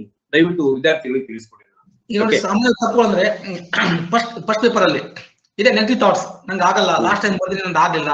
ಬರೀ ಇಪ್ಪತ್ ಮಾರ್ಕ್ಸ್ ಬಂತು ಇಪ್ಪತ್ತೈದು ಮಾರ್ಕ್ಸ್ ಬಂತು. ಆಗಲ್ಲ ಬಿಡಪ್ಪ. ಅಂತ ಕಾಣಿಸಿರಕ್ಕೆ ದಯವಿಟ್ಟು ಓದೋಕೋಬೇಡಿ ದೆನ್ನು ದೆನ್ ಫಸ್ಟ್ ಪೇಪರ್ ಎಸ್ಗೆ means first paper fifty marks ಇರುತ್ತಲ್ಲ ಅದಕ್ಕೆ ನ್ಯೂಸ್ ಪೇಪರ್ ಟಚ್ ಇರಬೇಕು. ಡೈಲಿ ನ್ಯೂಸ್ ಪೇಪರ್ ಟಚ್ ಇರಬೇಕು. ಅದರಿಂದ ನಮ್ಗೆ ವೆಕಾಬುಲರಿ ಜಾಸ್ತಿ ಆಗುತ್ತೆ. ಯಾವ ವರ್ಡ್ ಯೂಸ್ ಹಾಕಿ ಬರಿಬೇಕು? ಯಾವ ವರ್ಡ್ನ ಹಾಕ್ಬೇಕು? ಹಾಕ್ಬಾರ್ದು ಅಂತ ಗೊತ್ತಾಗುತ್ತೆ. ಇವಾಗ ಮೊದಲಿನ ತರ ಎಸ್ ರೇಟಿಂಗು ರೈತರ ಸಮಸ್ಯೆಗಳು ಅದ ಏನು ಅನಕ್ಷರತೆ ಆ, ಜನಸಂಖ್ಯೆ ಸ್ಫೋಟ ಮತ್ತೆ ಮೀನ್ಸ್ ವರದಕ್ಷಿಣೆ ಕಿರುಕುಳ ಇದು ಯಾವ್ದು ಕೇಳಲ್ಲ ಯಾವ್ದು ಕೇಳಲ್ಲ ಇವಾಗ ಯಾವ ತರ ಕೇಳಲ್ಲ. ಇವಾಗ ಏನು ಸಿ ನಾ ಯಾವ ತರ ಅಪ್ಡೇಟ್ ಆಗಿದೆ ಅಂದ್ರೆ ಮಾರ್ಚ್ ಹದಿನೈದನೇ ತಾರೀಕು ನನ್ನ ಇಂಟರ್ವ್ಯೂ ಇತ್ತು. ಎರಡ್ ಸಾವಿರದ ಹದಿನೇಳು ಮಾರ್ಚ್ ಹದಿನೈದನೇ ತಾರೀಕು ನೆಕ್ಸ್ಟ್ ಡೇನೆ ಬಜೆಟ್ ಇತ್ತು. ಸೊ ಹಿಂದಿನ ದಿನ ಹದಿನಾಲ್ಕನೇ ತಾರೀಕಿನ ಆ, ತಾರೀಕಿನ ಪ್ರಜಾವಾಣಿ ಪೇಪರ್ ಜಾಸ್ತಿ ನಾನು ಪ್ರಜಾವಾಣಿ ಪೇಪರ್ ಓದ್ತೀನಿ ನೀವು ಕೂಡ ಪ್ರಜಾವಾಣಿ ಪೇಪರ್ ಓದ್ಬೇಕು ಓದ್ಬೋದು. ಒಳ್ಳೆ ಮ್ಯಾಟರ್ ಇರ್ತದೆ. ಎಸ್ಪೆಷಲಿ ಏಳು ಎಂಟು ಒಂಬತ್ತು ಪೇಜ್ ಇದೆಯಲ್ಲ ಅದು ಎಸ್ ರೇಟಿಂಗ್ ವೆರಿ ವೆರಿ ಇದು ಹೆಲ್ಪ್ಫುಲ್ ಆಗುತ್ತೆ. ವೆಕಾಬುಲರಿ ಜಾಸ್ತಿ ಮಾಡ್ತದೆ ನಾವು ಜಾಸ್ತಿ ಮಾಡ್ತದೆ. ಸೊ ಹಿಂದಿನ ದಿನದ ಪ್ರಜಾವಾಣಿ ಪೇಪರ್ ಕೂಡ ನಾನು ಪೆಟ್ಟಿದ್ದೆ. ಅದೇ ವೈವಾದಲ್ಲಿ. ಬೆಟರ್ ನಿಮ್ಗೆ ವೈವಾ ಇಲ್ಲ ಇವಾಗ, ಒಳ್ಳೆ ಅವಕಾಶ. ನೀವು first paper second paper score ಮಾಡಿದೆ ಹಂಡ್ರೆಡ್ ಪರ್ಸೆಂಟ್ ಸೆಲೆಕ್ಷನ್ ಆಗ್ತೀರಾ? ವೈವಾದಲ್ಲಿ ಈಗ ಇತ್ತು, ವೈವಾದಲ್ಲಿ ದುಡ್ಡು ಕೇಳ್ತಾರೆ, ಹಾಗೆ ಈಗ ಅಂತ. ಅದೆಲ್ಲ ಬ್ಯಾಡ್ ಥಿಂಗ್ಸ್ ಬಿಟ್ಬಿಡಿ. ಅದ್ರದ್ದು ವೈವಾ ಇಲ್ಲ ಅಂದ್ಮೇಲೆ ಅದು ಕ್ವಶನ್ ಬರಲ್ಲ. ನೀವು ಚೆನ್ನಾಗಿ ಸ್ಕೋರ್ ಮಾಡ್ಬೋದು ಇವಾಗ. ಸೊ ಅದಕ್ಕೋಸ್ಕರ ಈಗ ಫಸ್ಟ್ ಪೇಪರ್ ಅಲ್ಲಿ ನೋಡಿ, around sixty to seventy fifty to sixty marks ನೀವು ನೀವು ಈ ನೀವು ಪ್ರಾಪರ್ ಆಗಿ ನೀವು ಪ್ರಿಪೇರ್ ಮಾಡಿದ್ರೆ ಐವತ್ತರಿಂದ ಅರವತ್ತು ಕ್ವಶನ್ ನೀವು ಖಂಡಿತ ಬಿಡಿಸಿ ಬಿಡ್ತೀರಾ. ನೆಕ್ಸ್ಟ್ ಹದಿನೈದು ಕ್ವಶನ್ ಟಫ್ ಇರ್ತದೆ. ನೆಕ್ಸ್ಟ್ ಹದಿನೈದು ಕ್ವಶನ್ ವೆರಿ ಟಫ್ ಇರ್ತದೆ. ಬೇಕಾದ್ರೆ ಸಿಲೆಬಸ್ ಎಲ್ಲಾ ಕ್ವಶನ್ ಪೇಪರ್ ನೋಡಿ maximum fifty to sixty marks ನೀವು ಎಲ್ಲರೂ ತಗೋತೀರಾ. ಖಂಡಿತ ತಗೋತೀರಾ, ಎಲ್ಲರೂ ತಗೋತೀರಾ. ಯಾಕಂದ್ರೆ ನೀವು ಏನಾದ್ರು ಈಗ ಪ್ರಾಥಮಿಕ ಶಿಕ್ಷಣ ಮತ್ತು ಪ್ರೌಢ ಶಿಕ್ಷಣ ನೀವೇನು ಗೌರ್ಮೆಂಟ್ ಬುಕ್ಸ್ನ ರೆಫರ್ ಮಾಡ್ತೀನಿ ನಾನು ಕೂಡ. ಈಗ ಅಣ್ಣ ಹೇಳ್ದಂಗೆ ನಾವು ಯಾವ್ದು ಜಾಸ್ತಿ ಬುಕ್ ಅಲ್ಲ ಗೌರ್ಮೆಂಟ್ ಬುಕ್ಸ್ ಜಾಸ್ತಿ ಯೂಸ್ ಮಾಡ್ತಿದ್ದೆ. ಯಾಕಂದ್ರೆ ಗೌರ್ಮೆಂಟ್ ಬುಕ್ಸ್ ಅಲ್ಲಿ ನೀವು ಏನಾದ್ರು ತಪ್ಪು ಅದನ್ನು ಓದಿ ನೀವು ಏನಾದ್ರು ತಪ್ಪು ಮಾಡಿದ್ರೆ you can challenge to board selection board ನೀವು ಚಾಲೆಂಜ್ ಮಾಡ್ಬೋದು. ಅದನ್ನ ಬಿಟ್ಟು ಬೇರೆ ಯಾರೋ ಈಗ ಆತರ ಅಥವಾ ಏನೋ ಅದು ಯಾವ್ದೋ ಒಂದು ಬುಕ್ ಲೋಕಲ್ ಬುಕ್ ಓದಿ ಅದ್ರ ಪ್ರಕಾರ ನೀವು ಬರ್ದು ಅದನ್ನ ನೀವು ಜೆರಾಕ್ಸ್ ಮಾಡಿ ಬೋರ್ಡ್ಗೆ ನೀವು ಚಾಲೆಂಜ್ ಮಾಡಕ್ ಆಗಲ್ಲ. ಗೌರ್ಮೆಂಟ್ ಬುಕ್ ಅಥರೈಸ್ ಬುಕ್ ಆದ್ರೆ ಯು ಕ್ಯಾನ್ ಚಾಲೆಂಜ್ ಈ ತರ ಹಿಂಗ್ ಬುಕ್ ಅಲ್ಲಿ ಇದೆ, ಈ ತರ ಬರ್ದಿದೀವಿ ಸೊ ನೀವು ಇದನ್ನ ಈ ತರ ತಪ್ಪು ಕೊಟ್ಟಿದ್ರ ಇದು ಚಾಯ್ಸ್ನ, ಈ ತರ ಮಾಡಿದ್ರೆ ನೀವು ಚಾಲೆಂಜ್ ಮಾಡ್ಬೋದು. ನಿಮ್ದು ಅವ್ರು ಕನ್ಸಿಡರ್ ಮಾಡ್ಬೋದು. ಅದಕ್ಕೋಸ್ಕರ ನೀವು ಗೌರ್ಮೆಂಟ್ ಬುಕ್ ಜಾಸ್ತಿ ಓದ್ಬೇಕು. ಎಸ್ಪೆಷಲಿ ಸೈನ್ಸ್ ಆಗ್ಲಿ seventh sixth seventh eight ninth tenth ಆ ಬುಕ್ ಅಲ್ಲಿ ಓದ್ಬೇಕು. ಆ ಬುಕ್ ಅಲ್ಲಿ ಓದಿದ್ರೆ ಫಾರ್ ಎಕ್ಸಾಂಪಲ್ ಕೆಲವರು ಇದು ಮಾಡ್ತಾರೆ. ಏನು ರೆಡಿ ಫುಡ್ ರೆಡಿ ಬುಕ್ಸ್ ಓದ್ತಾರೆ. ದಯವಿಟ್ಟು ಪಿ ಎಸ್ ಎಕ್ಸಾಮ್ಗೆ ರೆಡಿ ಬುಕ್ ಓದಕ್ ಹೋಗ್ಬೇಡಿ. ಯಾಕಂದ್ರೆ ಪ್ರಾಪರ್ ಆಗಿ ಡೀಪ್ ಆಗಿ ಓದ್ಕೊಂಡ್ ಬನ್ನಿ. ನಿಮ್ ಮೊದಲೇ ಅವಕಾಶ ಆಗ್ಲಿ ಕೂಡ ಪರವಾಗಿಲ್ಲ. ನಿಮ್ಮ ಸೆಕೆಂಡ್ ಚಾನ್ಸ್ ನೀವು ಖಂಡಿತ ಆಗ್ತೀರಾ ಪ್ರಿಪರೇಷನ್ ನೀವು ಸ್ಲೋ ಇದ್ರೂ ಪರವಾಗಿಲ್ಲ ಪರ್ಫೆಕ್ಟ್ ಆಗಿರ್ಬೇಕು. ಪ್ರಿಪರೇಷನ್ ಸ್ಲೋ ಇದ್ರೂ ಕೂಡ ಪರ್ಫೆಕ್ಟ್ ಆಗಿರ್ಬೇಕು. ಅದು ಇಂಪಾರ್ಟೆಂಟ್ ಇದರಲ್ಲಿ. ನೆಕ್ಸ್ಟ್ ಗೌರ್ಮೆಂಟ್ ಬುಕ್ ಅಲ್ಲಿ ನಿಮಗೆ ಇದು ತಿಳಿದಿ ತಿಳಿದಿ ತಿಳಿದಿರಲಿ ಅಂತ ಒಂದು ಬ್ಲಾಕ್ ಬ್ಲಾಕ್ ಬಾಕ್ಸ್ ಅಲ್ಲಿ ಕೊಟ್ಟಿರ್ತಾರೆ. ಎಂಡ್ ಆಫ್ ದಿ ಲೆಸನ್ ಕೊಟ್ಟಿರ್ತಾರೆ. ಅದು ಪಕ್ಕಾ ಕ್ವಶನ್ ಬೀಳ್ತವೆ. ಹಂಡ್ರೆಡ್ ಪರ್ಸೆಂಟ್ ಕ್ವಶನ್ ಬರ್ತವೆ ನನಗೆ ಓದಿರ ಪ್ರಕಾರ ನಾನು ಒಂದು ಹದಿಮೂರಿಂದ ಹದಿನಾಲ್ಕು ಕ್ವಶನ್ ಅದರಲ್ಲೇ ಕೂಡ ನಾನು ಇದು ಮಾಡಿದ್ದೀನಿ. ನಿಮಗೆ ಇದು ತಿಳಿದಿರಲಿ ಅಂತ ಕೊಟ್ಟಿರ್ತಾರೆ. ಅದನ್ನ ಓದ್ಕೋಬೇಕು. ಅದನ್ನೇ ಕೂಡ ರೆಫರ್ ಮಾಡಿ ಕ್ವಶನ್ ಪೇಪರ್ ತೆಗೆದಿರ್ತಾರೆ. ಕ್ವಶನ್ ಪೇಪರ್ ತೆಗೆದ್ರು ಕೂಡ ಆ ಬುಕ್ ಈ ಬುಕ್ ಅಲ್ಲಿ ಮಾಡಲ್ಲ. ಯಾಕಂದ್ರೆ ಅವರು ಕೂಡ ನಾಳೆ ಏನಾದ್ರು ಯಾರಾದ್ರೂ ಕ್ವಶನ್ ಮಾಡಿದ್ರೆ, ಅದು ಚಾಲನೆ ಮಾಡಿದ್ರೆ ಅದನ್ನ ನಾವು ಜಸ್ಟಿಫಿಕೇಶನ್ ಮಾಡ್ಕೋಸ್ಕರ ಮಾಡ್ಕೋಬೇಕು ಅನ್ನೋ ಉದ್ದೇಶಕ್ಕೋಸ್ಕರ ಅವರು ಕೂಡ ಅಥರೈಸ್ಡ್ ಬುಕ್ ಅಲ್ಲಿ ಕೂಡ ತೆಗೆದಿರ್ತಾರೆ ಕ್ವಶನ್ ಪೇಪರ್ ಅದಕ್ಕೆ ನಿಮ್ಗೆ ಹೇಳ್ತಾ ಇರೋದು ಗೌರ್ಮೆಂಟ್ ಬುಕ್ ಅನ್ನ ರೆಫರ್ ಮಾಡಿ. Then five to ten and first P U C second P U C history geography science ಇವೆಲ್ಲವನ್ನು ಕ್ಲಿಯರ್ ಆಗಿ ಓದ್ಕೊಳ್ಳಿ. ಓದ್ಕೊಂಡು ಆದ್ಮೇಲೆ ನಿಮ್ಗೊಂದು ನಾಲೆಜ್ ಬರ್ತದೆ, ನಿಮ್ಗೊಂದು ಹಿಡಿತ ಬರ್ತದೆ. ಆಮೇಲೆ ನೀವು ರೆಡಿ ಲೆಕ್ಕ book just like question paper ಬಿಡಿಸಿದಾಗಲಿ question paper ಬಿಡಿಸೋದು ಕೂಡ ವೆರಿ ಇಂಪಾರ್ಟೆಂಟ್ ಅದನ್ನ ನೆಕ್ಸ್ಟ್ ಹೇಳ್ತೀನಿ. ನೆಕ್ಸ್ಟ್ ರೆಡಿ ಲೆಕ್ಕನರ್ ಬುಕ್ ಓದ್ಬೋದು. ಈಗ ಜಸ್ಟ್ ಶಾರ್ಟ್ ಆಗಿ ಕೊಡ್ತಾರೆ. ಒಂದು ವಿಜಯನಗರ ಸಮಾಜ ಬಗ್ಗೆ ಅದನ್ನ ದೀಪ ಓದಿದ್ರೆ ಒಂದು ನಲವತ್ತು ಪೇಜ್ ಐವತ್ತು ಪೇಜ್ ಇದೆ ಅದು. ಅದು ಒಂದೇ ವಿಜಯನಗರ ಸಮಾಜದ ಬಗ್ಗೆ. ಸೊ ಅದನ್ನ ನೀವು ಕ್ಲಿಯರ್ ಆಗಿ ಮೊದಲು ಓದ್ಬಿಟ್ಟು ಆಮೇಲೆ ರೆಡಿ ಆಗಿರ್ತಕ್ಕಂಥ ಬುಕ್ ಓದಿದ್ರೆ ನಿಮ್ಗೆ, ಓ, ನಾ ಈ ತರ ಓದಿದ್ದೆ, ಈ ತರ ಬುಕ್ ಅಲ್ಲಿ ಬಂದಿತ್ತು, ಈ ತರ ಇತ್ತು ನೀವು ಮಾಡ್ಬೋದು. ಏನೋ ಚಾಲೆಂಜ್ ಮಾಡ್ಬೋದು. ಸಣ್ಣ ಸಣ್ಣ ಕ್ವಶನ್ ಅಲ್ಲಿ ಸಣ್ಣ ಸಣ್ಣ ಮೀನ್ಸ್ ಹೆಸರಲ್ಲಿ ಒಂದನೇ ಬಲ್ಲಾಳ, ಎರಡನೇ ಬಲ್ಲಾಳ ಈ ತರ. ಇದರಲ್ಲೇ ನಿಮ್ಗೆ ಫೇಲ್ ಆಗ್ತೀರಾ ನೀವು. ಬಲ್ಲಾಳ ಅಂತ ಗೊತ್ತಿರತ್ತೆ, ಯಾರು ಒಂದು, ಎರಡು, ಮೂರು, ನಾಲ್ಕು ಅಂತ ಗೊತ್ತಿರಲ್ಲ. ಸೊ ಅದಕ್ಕೋಸ್ಕರ ಡೀಪ್ ಆಗಿ ಓದ್ಕೋಬೇಕು. ಡೀಪ್ ಆಗಿ ಓದ್ಕೋಬೇಕು ಮತ್ತೆ ಅವಾಗಲೇ ಒಂದು ಪೇಪರ್ ಅಲ್ಲಿ ಬರ್ತ್ ತಗೋಬೇಕು ಪ್ರಿಪರೇಷನ್ ಬರ್ತ್ ತಗೋಬೇಕು ಅದು ನಿಮ್ಗೆ ಹ್ಯಾಂಡ್ ಸ್ಪೀಡ್ ಆಗುತ್ತೆ ಹ್ಯಾಂಡ್ ಚೆನ್ನಾಗುತ್ತೆ ನಾಲೆಜ್ ಉಳಿತದೆ. ನೀವು ಒಂದು ಓದಿ, ಹತ್ತು ಸಲ ಓದೋದನ್ನ ಒಂದ್ಸಲ ತೆಗೆದ್ರೆ ಖಂಡಿತ ಕೂಡ ನಿಮ್ಗೆ ನೆನಪು ಬೀಳ್ತಿದೆ. ಒಂದ್ಸಲ ಬರೆದ್ರೆ ನೀವು ಒಂದು, ಹತ್ತು ಸಲ ಬರೆದ್ರೆ ಒಮ್ಮೆ ಡಿಸ್ಕಸ್ ಮಾಡಿದ್ರೆ ಲೈಫ್ ಲಾಂಗ್ ನಿಮ್ಗೆ ನೆನಪು ಬೀಳ್ತಿದೆ. ಬಿಕಾಸ್ ನಾನು ಆಫ್ಟರ್ ಟೆನ್ ಇಯರ್ಸ್ ಅಂದ್ರೆ ಲೆವೆನ್ ಇಯರ್ಸ್ ಸರ್ವಿಸ್ ಅಲ್ಲಿ ನಾವು ಓದಿ ಬರ್ದಿದ್ರೆ ಅಂದ್ರೆ ಅದೊಂಥರ ಮೀನ್ಸ್ ನನಗೆ ಆಶ್ಚರ್ಯ ಆಗ್ಬಿಡ್ತು. ಯಾಕೆ ಒಂದ್ ಫಸ್ಟ್ ಅಟೆಂಪ್ಟ್ ಅಲ್ಲೇ ಪಾಸ್ ಆಗ್ಬಿಡ್ಲಪ್ಪ ನಾನು ಆಶ್ಚರ್ಯ ಆಗ್ಬಿಡ್ತು. ಯಾಕಂದ್ರೆ ನನಗೆ ಪಿ ಯು ಸಿಯಲ್ಲಿ ಅಥವಾ ಪ್ರೌಢ ಶಿಕ್ಷಣದಲ್ಲಿ, ಪ್ರಾಥಮಿಕ ಶಿಕ್ಷಣದಲ್ಲಿ ನನಗೆ ಏನು ಟೀಚರ್ ಹೇಳ್ಕೊಡಿದಲ್ಲ ಯಾವ ತರ ಹೇಳ್ಬೋದು ಅದೇ ಬುನಾದಿ ಇದೆಲ್ಲ ಫೌಂಡೇಶನ್ ಇದೆಯಲ್ಲ ಅದು ಎಲ್ಲದಕ್ಕೂ ಪ್ರಿಪರೇಷನ್ ಆಗುತ್ತೆ. ಈಗ ನಮ್ಮ I A S K S ಆಗಲಿ ಪಿ ಎಸ್ ಆಗಲಿ, ಏನೇ ಎಕ್ಸಾಮಿನೇಷನ್ ಇದಕ್ಕೆ ಬೇಕಾಗಿರೋದು just one qualification degree only not science commerce nothing B B A B B ಅಲ್ಲ ಒಂದು ಕ್ವಾಲಿಫಿಕೇಶನ್ ಡಿಗ್ರಿ ಓಕೆ ಅದಕ್ಕೋಸ್ಕರ ಡಿಗ್ರಿ ಇರ್ಬೇಕಷ್ಟೇ. ಡಿಗ್ರಿ ಆಗಿ ಪ್ರಿಪರೇಷನ್ ಪರ್ಫೆಕ್ಟ್ ಆಗಿ ಮಾಡ್ಬೇಕು. ಫಾರ್ ಎಕ್ಸಾಂಪಲ್ ಈಗ ಸೈನ್ಸ್ ಇದ್ದವರು ಏನ್ ನಮ್ಗೆ ಆರ್ಟ್ಸ್ ಆಗಲ್ಲ ನಾವು ಬರೀ ಆ ಸೈನ್ಸ್ ಫೀಲ್ಡ್ ಅಲ್ಲಿ ನಾವು ಎಕ್ಸಾಮ್ ಬರೀಬೇಕು. ಆ ತರ ಭಾವನೆಯನ್ನ ತೆಗೆದ್ಬಿಡಿ. ಎಲ್ಲರೂ ಯಾವುದೇ ಎಕ್ಸಾಮ್ ಬರಿಬೋದು ಇವಾಗ. ಈ ತರ ಇದೆ. ಮತ್ತೆ ನಿಮ್ಗ ಈಗ ಎಪ್ಪತ್ತೈದು ಕ್ವಶನ್ ಆಯ್ತು. ಇನ್ನು ಇಪ್ಪತ್ತೈದು ಕ್ವಶನ್ ವೆರಿ ಟಫ್ ಇರ್ತದೆ. ಅದೇ ಇಪ್ಪತ್ತೈದು ಕ್ವಶನ್ ನಿಮ್ನ ಎಪ್ಪತ್ತೈದು ಕ್ವಶನ್ ಆಲ್ಮೋಸ್ಟ್ ಬರ್ತೀರಾ? ಇನ್ನು ಇಪ್ಪತ್ತೈದು ಕ್ವಶನ್ ಅದೇ ಕೂಡ ನಿಮ್ಗೆ ಜಡ್ಜ್ ಮಾಡೋದು. ನಿಮ್ಮ ಸೆಲೆಕ್ಷನ್ಗೆ ಜಡ್ಜ್ ಮಾಡ್ತಕ್ಕಂಥ ಕ್ವಶನ್ ಲಾಸ್ಟ್ ಇಪ್ಪತ್ತೈದು ಕ್ವಶನ್ ವೆರಿ ಟಫ್ ಕ್ವಶನ್ ಅದನ್ನ ಹಾಕುವಾಗ ಬಹಳ ವಿಚಾರ ಮಾಡಿ ಹಾಕ್ಬೇಕು. Because this is negative marks ಇದೆ ನಿಮ್ಗೆ. ಅದಕ್ಕೋಸ್ಕರ ಬಹಳ ವಿಚಾರ ಮಾಡಿ ಹಾಕ್ಬೇಕು. ಜಡ್ ತಗೊಂಡ್ ಹಾಕ್ಬೇಕು. ಇನ್ ಕೇಸ್ ಆಫ್ ಜಜ್ಮೆಂಟ್ ಹೆಂಗಿರ್ಬೇಕಂದ್ರೆ ಗೊತ್ತಿಲ್ಲ ಅಂದ್ರೆ ಫಾರ್ ಎಕ್ಸಾಂಪಲ್ ಕೆಲವರಿಗೆ ಕ್ವಶನ್ ಇರುತ್ತೆ. ಸರ್ ನಂಬರ್ ಆಫ್ ಕ್ವಶನ್ ಎಷ್ಟು ಅಟೆಂಪ್ಟ್ ಮಾಡ್ಬೇಕು ನಾವು? ತೊಂಬತ್ತೈದು ಮಾಡ್ಬೇಕಾ? ಹಂಡ್ರೆಡ್ ಹಂಡ್ರೆಡ್ ಹಾಕ್ಬೇಕಾ? ಎಂಬತ್ ಮಾಡ್ಬೇಕಂತ. ಸೊ ಲಾಸ್ಟ್ ಟೈಮ್ ನಮ್ ಫ್ರೆಂಡ್ ನನ್ಗೆ ಗೊತ್ತಿರೋ, ನಮ್ ಜೊತೆಗೆ ಓದಿರ್ತಕ್ಕಂಥ ಒಬ್ಬ ವ್ಯಕ್ತಿ ಬರೀ ಎಂಬತ್ನಾಲ್ಕು ಕ್ವಶನ್ ಟಚ್ ಮಾಡ್ದ. ಬಟ್ ಅವ್ನಿಗೆ ಆಮೇಲೆ ಅನ್ಸು, ನಾ ಹದಿನಾರು ಕ್ವಶನ್ ನಾ ಟಚ್ ಮಾಡ್ಬೇಕು. ಅವ್ನು ಮೂರ್ ಮಾರ್ಕ್ಸ್ ನಾಲ್ಕು ಮಾರ್ಕ್ಸ್ ಹೋಯ್ತು ಅವ್ನು ಪಿ ಎಸ್ ಐ ಎಕ್ಸಾಮ್ ಹೋಯ್ತು ಪಿ ಎಸ್ ಐ ಸೆಲೆಕ್ಷನ್ ಹೋಯ್ತು. ಅವ್ನಿಗೆ ಆಮೇಲೆ ಗೊತ್ತಾಯ್ತು ಸೊ ನಾನು ಇನ್ನು ಜಾಸ್ತಿ ಹಾಕ್ಬೇಕಾಗಿತ್ತು. ಸೊ ಜಾಸ್ತಿ ಹಾಕ್ಬೇಕಾದ್ರೆ ಸುಮ್ಮನೆ ಟಿಕ್ ಮಾಡಬಾರ್ದಲ್ಲ. ಈ ಹದಿನಾರು ಕ್ವಶನ್ ಅಲ್ಲಿ ನೀವೇನ್ ಟಚ್ ಮಾಡ್ತಾರಲ್ಲ, ಅದ್ರಲ್ಲಿ ನಿಮ್ದು ಬೋಲ್ಡ್ ಅಟೆಂಪ್ಟ್ ಇರ್ಬೇಕು ಎಕ್ಸಾಕ್ಟ್ ಇರ್ಬೇಕು ಇನ್ನು ಹಾಕಿದ್ರೆ ಆಗ್ಬೋದೇನೋ. ಫಿಫ್ಟಿ ಫಿಫ್ಟಿ ಇದ್ರೆ ದಯವಿಟ್ಟು ಬಿಟ್ಬಿಡಿ. ಬಿಟ್ಬಿಡಿ. ಯಾಕೆ ಈ ಹದಿನಾರು ರಿಮೈನಿಂಗ್ ಕ್ವಶನ್ ಅಲ್ಲಿ ನೀವು ಎಕ್ಸಾಂಪಲ್ ಹದಿನಾರಲ್ಲಿ ಟಚ್ ಮಾಡಿದ್ರೆ ಹದಿನಾರು ಟಚ್ ಮಾಡಿದ್ರೆ ಒಂದು ಐದರಿಂದ ಆರು ಮಾರ್ಕ್ಸ್ ಬಂದ್ರೆ, ಆ ಏನಿಗೆ ನೀವು ಅರ್ನ್ ಮಾಡಿದ್ರಲ್ಲ ಎಪ್ಪತ್ತೈದು ಮಾರ್ಕ್ಸ್ ನಿಮ್ಗೆ ಪಕ್ಕ ಬೀಳ್ತು ಅಂತ ಇದ್- ಇದಿರುತ್ತೆ. ಕಾನ್ಫಿಡೆನ್ಸ್ ಇರುತ್ತೆ ನಿಮ್ಗೆ. ಸೊ ಆದ್ರೆ ಅದಕ್ಕೆ ಇನ್ನು ಇಪ್ಪತ್ತೈದು ಕ್ವಶನ್ ಅಲ್ಲಿ ನೀವು ಏನು ಟಚ್ ಮಾಡಬೇಕು ಅಂತ ನಿರ್ಧಾರ ಮಾಡಿದ್ರೆ, ನಿಮ್ಮ ಆ ಇಪ್ಪತ್ತೈದು ಕ್ವಶನ್ ತಪ್ಪಾಗ್ತಾವಲ್ಲ ಇನ್ ನೀವು ತಗೊಂಡಿರ್ತಕ್ಕಂಥ ಮಾರ್ಕ್ಸ್ ಯಾವುದೇ ಕಾರಣಕ್ಕೂ ಬರಬಾರ್ದು. ಎಪ್ಪತ್ತೈದು ಕ್ವಶನ್ ಬರಬಾರ್ದು. ಇನ್ ಇಪ್ಪತ್ತೈದರಲ್ಲಿ ಒಂದು ಐದಾರು ಪಾಸ್ ಆಗಿರ್ಬೇಕು. ಉರ್ದು ಫೇಲ್ ಆಗ್ತಾವಲ್ಲ ಅಲ್ಲಿಗೆ ಅಟ್ಯಾಚ್ ಇರಬೇಕು. ಆ ಥರ ಡಿಸಿಷನ್ ತಗೋಬೇಕು ಎಕ್ಸಾಮ್ ಅಲ್ಲಿ ಎಸ್ಪೆಷಲಿ ಮಲ್ಟಿಪಲ್ ಚಾಯ್ಸ್ ಕ್ವಶನ್ ಅಲ್ಲಿ. ದೆನ್ ಒಂದು ನನ್ನ ಅನುಭವ ಹೇಳ್ತಾನೆ, ಯಾವುದೇ ಕಾರಣಕ್ಕೂ ಎಕ್ಸಾಮ್ ಸೆಂಟರ್ಗೆ ಲೇಟ್ ಆಗಿ ಲೇಟ್ ಆಗಿ ಮತ್ತೆ ಎಕ್ಸಾಮ್ ಇನ್ನೇನು ರೆಡಿ ಎಕ್ಸಾಮ್ ಇದೆಯಪ್ಪ ಇನ್ನೊಂದು ಅವರ್ ಟೂ ಅವರ್ಸ್ ಇದ್ದಾಗ ದಯವಿಟ್ಟು ಯಾವುದೇ ಬುಕ್ ಅನ್ನು ಓದ್ಬೇಡಿ. ನನ್ನ ಅನುಭವ ಹೇಳ್ತಾ ಇದ್ದೇನೆ. ಯಾವುದೇ ಕಾರಣಕ್ಕೆ ಯಾವ ಬುಕ್ ಓದಕ್ ಹೋಗ್ಬೇಡಿ. ಹಿಂಗ್ ಹಿಂಗ್ ಬೇಗ ಬೇಗ ನೋಡೋದು ಅದು ಬರುತ್ತೆ, ಇದು ಬರುತ್ತೆ ನೀವು ಓದಿರ್ತಕ್ಕಂಥ ಎಲ್ಲಾ ಕ್ವಶನ್ ಚಿತ್ರಣ ತರ ಆಗುತ್ತೆ ಅವೇ ನಿಮ್ ಫೇಲ್ ಆಗೋದು. ಎಕ್ಸಾಮ್ ಅಲ್ಲಿ. ಅದಕ್ಕೆ ನೋಡಿ, ಒಂದು, ಅದಕ್ಕೊಂದು ನನಗೆ ಬೆಸ್ಟ್ ಎಕ್ಸಾಮ್ ನನ್ಗೆ ಅನುಭವ ಆಗಿದೆ. ನಮ್ಮ ಫ್ರೆಂಡ್ ಎರಡ್ ಸಾವಿರದ ಹದಿನಾಲ್ಕು ಬ್ಯಾಕ್ ಪಿ ಎಸ್ ಹೇಳ್ತಾನೆ ನನಗೆ ಯಾವುದೇ ಕಾರಣಕ್ಕೆ ಓದ್ಬೇಡ ಎಕ್ಸಾಮ್ ಸೆಂಟರ್ ಅಲ್ಲಿ ಟೂ ಅವರ್ಸ್ ಫುಲ್ ಫ್ರೀ ಇರೋ. ಅವಾಗ ನನಗೆ ಯಾವ್ದು ಬರ್ತಪ್ಪ ಕ್ವಶನ್ ಬೀಳುತ್ತಂತ ಭಯ ಬೇಡ. ನೀವು ಓದಿದ್ರೆ ಖಂಡಿತ ನೆನಪು ಬರ್ತದೆ. ಎಕ್ಸಾಮ್ ಅಲ್ಲಿ ನೆನಪು ಬರ್ತಂತೆ ಇದು ಸೊ ಅವನು ಮಾತನ್ನ ಮೀರಿ ಕೂಡ ನಾವು ಓದಿದೆ. ಸೊ ಅದಕ್ಕೋಸ್ಕರ ನಾನು ಐದು ಕ್ವಶನ್ ಫೇಲ್ ಆದವು. ಮಲ್ಟಿಪಲ್ ಚಾಯ್ಸ್ನಲ್ಲಿ ಐದು ಕ್ವಶನ್ ಫೇಲ್ ಆದವು. ಗೊತ್ತಿದ್ರು. ಈಗ ಈಗ ಈಗ ಫಾರ್ ಎಕ್ಸಾಂಪಲ್ ಶ್ರೀನಿವಾಸ್. ಶ್ರೀನಿವಾಸ್ ಈ ಈ ಕೆಳಗಿನ ಯಾವ ಪ್ರಶಸ್ತಿಯನ್ನು ಪಡೆದಿಲ್ಲ. ಪಡೆದಿದ್ದಾನೆ ಅಂತ ನಾವು ಓದಿದ್ದೀನಿ. ಪಡೆದಿಲ್ಲ ಅಂತಿದೆ. ನಾ ಡ್ಯೂ ಟು ಮೀನ್ಸ್ ನಾ ಓದಿದ್ನಲ್ಲ ಹೋಗುವಾಗ ಒನ್ ಅವರ್ ಅಲ್ಲಿ ಸ್ವಲ್ಪ ಕನ್ಫ್ಯೂಸ್ ಆಗ್ಬಿಡ್ತು ನನಗೆ. ಆ ತರ ಕ್ವಶನ್ ಐದು ಫೇಲ್ ಆಗಿದಾವೆ. ಬಿಕಾಸ್ ಆಫ್ ಬಿಫೋರ್ ಎಕ್ಸಾಮಿನೇಷನ್ ಹೋಗಿ ಓದ್ಕೊಂಡ್ಬಿಡ್ತಾರಲ್ಲ ಆ ತರ ಓದ್ಬೇಡಿ, ದಯವಿಟ್ಟು ಓದ್ಬೇಡಿ. ನಿಮ್ ಪ್ರಿಪರೇಷನ್ ಇದ್ರು ಕೂಡ ಎಕ್ಸಾಮಿನ ಹಿಂದಿನ ದಿನ. ಹಿಂದಿನ ದಿನ ಎಂಡ್ ಆಗ್ಬೇಕು. ಫ್ರೀ ಎಕ್ಸಾಮ್ ಸೆಂಟರ್ ನೀವು ಫ್ರೀ ಆಗಿ ಹೋಗ್ಬೇಕು. ಫ್ರೀ ಆಗಿ ಹೋಗ್ಬೇಕು ಕಾಮ್ ಆಗಿ ಎಕ್ಸಾಮ್ ಬರೀಬೇಕು. ಸೋಸಲ್ಲಿ ತಪ್ಪು ಮಾಡೋದು, ಯಾಕಂದ್ರೆ ಅವಕಾಶ ಇಲ್ಲ.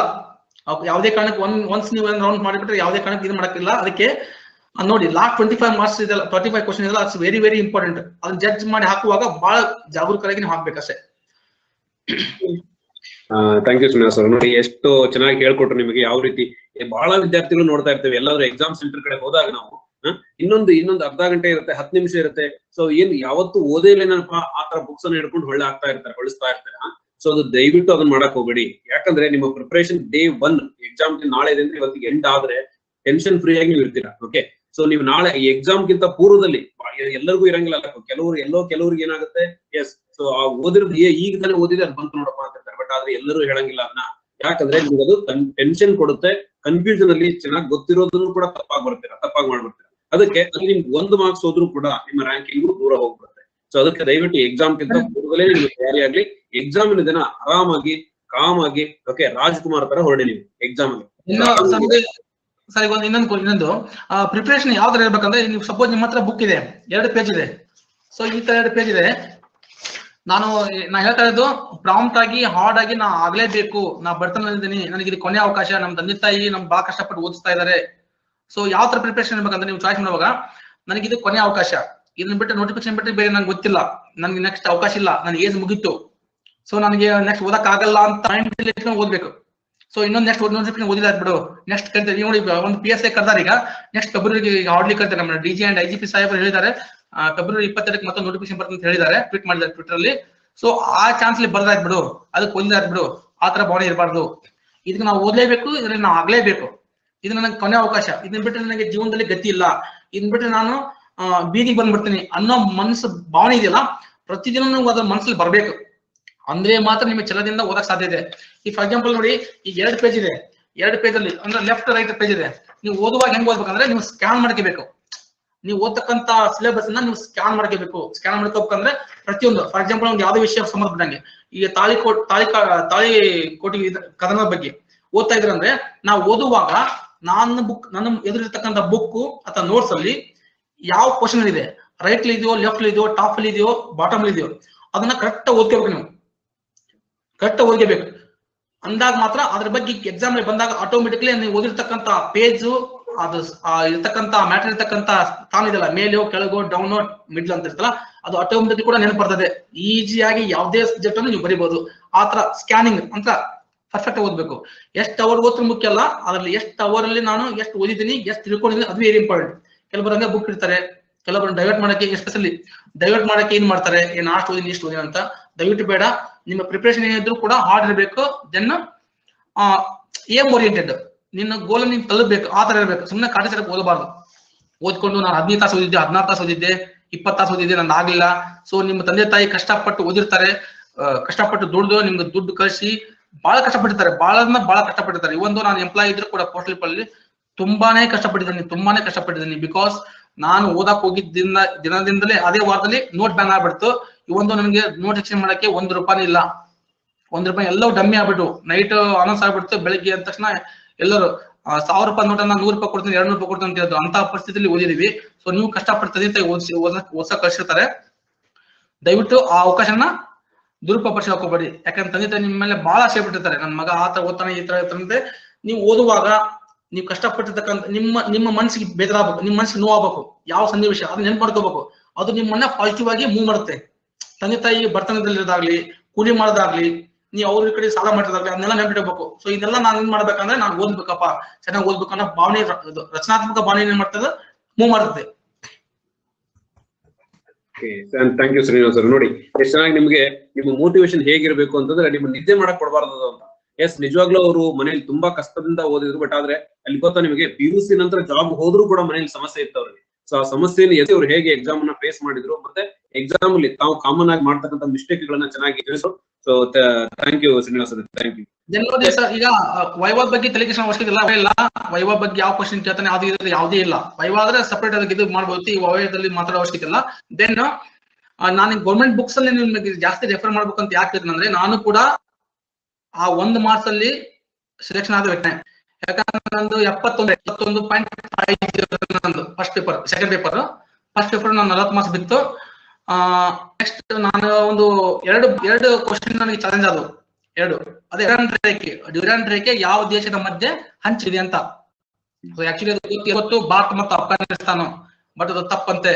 ಅದು ತಪ್ಪು ಅಂತ ಕೊಟ್ರೆ ನಮ್ಗೆ. ಎಸ್ ಎಸ್ ಬುಕ್ ಬುಕ್ ಅಲ್ಲಿ one forty two paging top ಅಲ್ಲಿ ಇದೆ, ಮೇಲಲ್ಲಿ ಇದೆ ಅದು. ಬಟ್ ಅದು ಕೂಡ ತಪ್ಪು ಕೊಟ್ಟರು ಅದನ್ನು ಕೂಡ ಜಸ್ಟಿಫಿಕೇಶನ್ ಹಾಕಿದೆ, ಅದಕ್ಕೊಂದು ಐದು ಬರ್ತದೆ ಅದು ಲಾಸ್ ಆಗಿದೆ. ಇನ್ನೊಂದು ಕ್ವಶನ್ ಬರ್ದೆ ಅದಕ್ಕೆ ಹದಿನೈದು ಹದಿನೈದು ನಾನು ಅಬ್ಜೆಕ್ಷನ್ ಮಾಡಿದೆ. ಅದು ಆಕ್ಚುಲಿ ನನ್ನ ತಪ್ಪಾಗಿತ್ತು. ನಾನು ಹೋಗ್ಲಿ ಬಿಡಪ್ಪ ನಾನು ಆಗ್ತದಿಲ್ಲ ಬಿಡು ನನ್ನ ಒಂದು ಆಕ್ಚುಲಿ ಎಪ್ಪತ್ ಎಪ್ಪತ್ತುವರೆ ಆಯ್ತು. ಸೆವೆಂಟಿ ಪಾಯಿಂಟ್ ಫೈವ್ ಜೀರೋ ಆಯ್ತು. ಸೊ ನನಗೆ ಏನ್ ಮಾಡಿದೆ, ನಾನು ಹೋಗ್ಲಿ ಬಿಡಪ್ಪ ಆದ್ರಾಗ್ಲಿ ಬಿಟ್ಟು ಬಿಡ್ಲಿ ಅಂತ ನಾನೇ ಅದನ್ನು ಬಿಟ್ಟಿದ್ದೆ.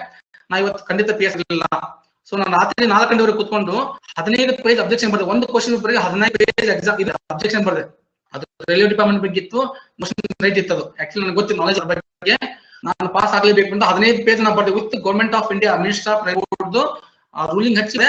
ಸೊ ನಂದು ಗುಡ್ ಲಕ್ ಪ್ರಿಲಿಮಿನರಿ ಏನಿದೆ ಪ್ರಾವಿಷನ್ ಕೀ ಆನ್ಸರ್ ಇರ್ತಕ್ಕಂಥದ್ದು ನೆಕ್ಸ್ಟ್ ಫೈನಲ್ ಇದರಲ್ಲಿ ನಾನು ಪಾಸ್ ಆಗ್ಬಿಡ್ತು. ಒಂದೂವರೆ ಮಾರ್ಕ್ಸ್ ಜಾಸ್ತಿ ಆಯ್ತು.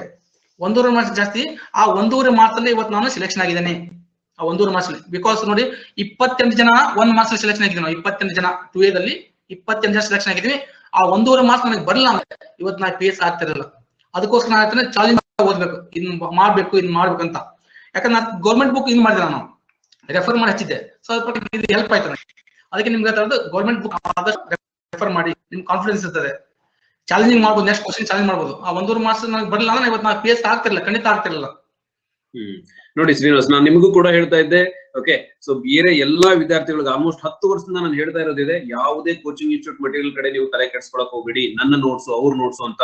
ನಿಮ್ಮದೇ ಆಗಿರ್ತಕ್ಕಂಥ ಓನ್ ನೋಟ್ಸ್ ಅನ್ನ ಪ್ರಿಪೇರ್ ಮಾಡಿ, ಶಾಲಾ ಪಠ್ಯಕ್ರಮದ ಪುಸ್ತಕವನ್ನು ಓದ್ಕೊಂಡು ನಿಮ್ಮದೇ ನೋಟ್ಸ್ ಮಾಡಿ. ಓಕೆ ತುಂಬಾ ಇಂಪಾರ್ಟೆಂಟ್ ಇದು. ಹೇಳಿದ್ರಲ್ಲ ಸೊ ಆಮೇಲೆ ಬಜೆಟ್ ದಾಖಲೆ, ಸರ್ಕಾರದ ಬಜೆಟ್ ದಾಖಲೆಗಳೇನ್ ಬರ್ತಾವ ಕೇಂದ್ರದ್ದು, ರಾಜ್ಯ ಸರ್ಕಾರದ್ದು ಅವುಗಳನ್ನ ನೋಡುವಂಥದ್ದು. ಆನಂತರ ಆರ್ಥಿಕ ಸಮೀಕ್ಷೆ ಕಡಕದ ಪ್ರಜಾವಾಣಿ ಇಂಡಿಯಾ ಇಯರ್ ಬುಕ್ ಇಷ್ಟು ನಿಮ್ ಕಡೆ ಕರೆಕ್ಟ್ ಆಗಿದ್ರೆ ನೀವು ಆರಾಮಾಗಿ ಎಕ್ಸಾಮ್ನ ಫೇಸ್ ಮಾಡಬಹುದು ಯಾವುದೇ ರೀತಿಯ ಹೊರಗಡೆ ಪುಸ್ತಕಗಳಿಗೆ ಅವಕಾಶನೇ ಇಲ್ಲ. ಆಮೇಲೆ ಒಂದ್ ವೇಳೆ ನಿಮ್ಗೆ ಶಾಲಾ ಪಠ್ಯಕ್ರಮ ಪುಸ್ತಕದಲ್ಲಿ ಸಿಗದೇ ಇರುವಂತದ್ದು ಬೇಕು ಅಂತಂದ್ರೆ ಓಕೆ ಸೊ ಏನ್ ಮಾಡ್ಬೋದು ನೀವು? ಒಂದೊಂದು ರೆಫರೆನ್ಸ್ ಬುಕ್ ನೀವು ಡಿಗ್ರಿಯಲ್ಲಿ ಏನು ಓದಿರ್ತೀರಿ ಪಾಲಿಟಿಕ್ ಆಯ್ತು ಓಕೆ ಹಿಸ್ಟ್ರಿಗೆ ಜಾಗ್ರಫಿಗೆ ಎಕನಾಮಿಕ್ಸ್ ಓದಿರ್ತಾರಲ್ಲ, ಅದನ್ನ ರೆಫರ್ ಮಾಡಿ. ಇಲ್ಲಪ್ಪ ಅಂದ್ರೆ ಇನ್ನು ನಿಮ್ಗೊಂದು ಸಿಂಪಲ್ ಟಿಪ್ಸ್ ಹೇಳ್ತೀನಿ. ಪಿ ಯು ಸಿ ಅಲ್ಲಿ ನಿಮ್ಗೆ ಸಿಗ್ತಕ್ಕಂಥ ಪುಸ್ತಕಗಳು ಓಕೆ ಪಾಲಿಟಿಗೆ ಬೇರೆ ಇದೆ ಸಪರೇಟ್ ಆಗಿ. ಎಕನಾಮಿಕ್ಸ್ ಬೇರೆ ಇದೆ ಜಾಗ್ರಫಿ ಬೇರೆ ಇದೆ ಇತಿಹಾಸಕ್ಕೆ ಬೇರೆ ಇದೆ ಈ ಪುಸ್ತಕಗಳನ್ನ ಓದಿ. ಓಕೆ ಸೊ ಇವುಗಳನ್ನ ಕರೆಕ್ಟ್ ಆಗಿ ರೆಫರ್ ಮಾಡಿ. Up to S L C ವರ್ಗೂ that is fine even eleventh twelfth ಕೂಡ ತುಂಬಾ ಚೆನ್ನಾಗಿದ್ದಾರೆ ಅದರಲ್ಲಿ ನಿಮಗೆ ಡೀಟೇಲ್ ಮಾಹಿತಿ ಸಿಗುತ್ತೆ. ಓಕೆ ಸೊ ಇದೇ ಮಾಹಿತಿಯಿಂದ ನೀವು ಪೇಪರ್ ಫಸ್ಟ್ ಪೇಪರ್ಗೆ ಬಹಳ ಜನ ಕೇಳ್ತಾ ಇದ್ದಾರೆ. ನೋಡಿ, ಶ್ರೀನಿವಾಸ್ ಅವರು ಯಾವುದೇ ಬುಕ್ ಓದಿಲ್ಲ ಫಸ್ಟ್ ಪೇಪರ್ ಎಸ್ ಎಗೆ ನಾವು ಪ್ರಿಪೇರ್ ಆಗಿರ್ತಕ್ಕಂಥ ಫಸ್ಟ್ ಪೇಪರ್ ಸೆಕೆಂಡ್ ಪೇಪರ್ ಏನ್ ಪ್ರಿಪೇರ್ ಆಗಿರ್ತಾರೆ, ಅದೇ ಮಾಹಿತಿಯಿಂದನೇ ಎಸ್ ಎ ಬರೆದಿದ್ದಾರೆ. ಆದ್ರೆ ಎಸ್ ಎ ಬರೆಯೋದನ್ನ ಬಿಡ್ತಿರ್ಲಿಲ್ಲ ಅವರು. ಎಸ್ ಎ ಡಿಸ್ಕಷನ್ ಮಾಡ್ತಾ ಇದ್ರು. ನನ್ ಜೊತೆಗೆ ಎಷ್ಟೋ ವಿಷಯಗಳ ಬಗ್ಗೆ ಚರ್ಚೆ ಮಾಡ್ತಾ ಇದ್ದೆ ನಾವು. ಫೋನ್ ಮಾಡಿದಾಗಾಯ್ತು ನಮ್ಮ ಮನೆಗೆ ಬಂದಾಗಾಯ್ತು ಸೊ ಅವ್ರಿಗೆ ಇನ್ನೂ ನೆನಪಿದೆ ಅವರಿಗೆ. ಒಂದು ಪೋಸ್ಟಲ್ ಡಿಪಾರ್ಟ್ಮೆಂಟ್ ಬಗ್ಗೆ ಇಂಟರ್ವ್ಯೂ ಇತ್ತು ಅವ್ರಿಗೆ.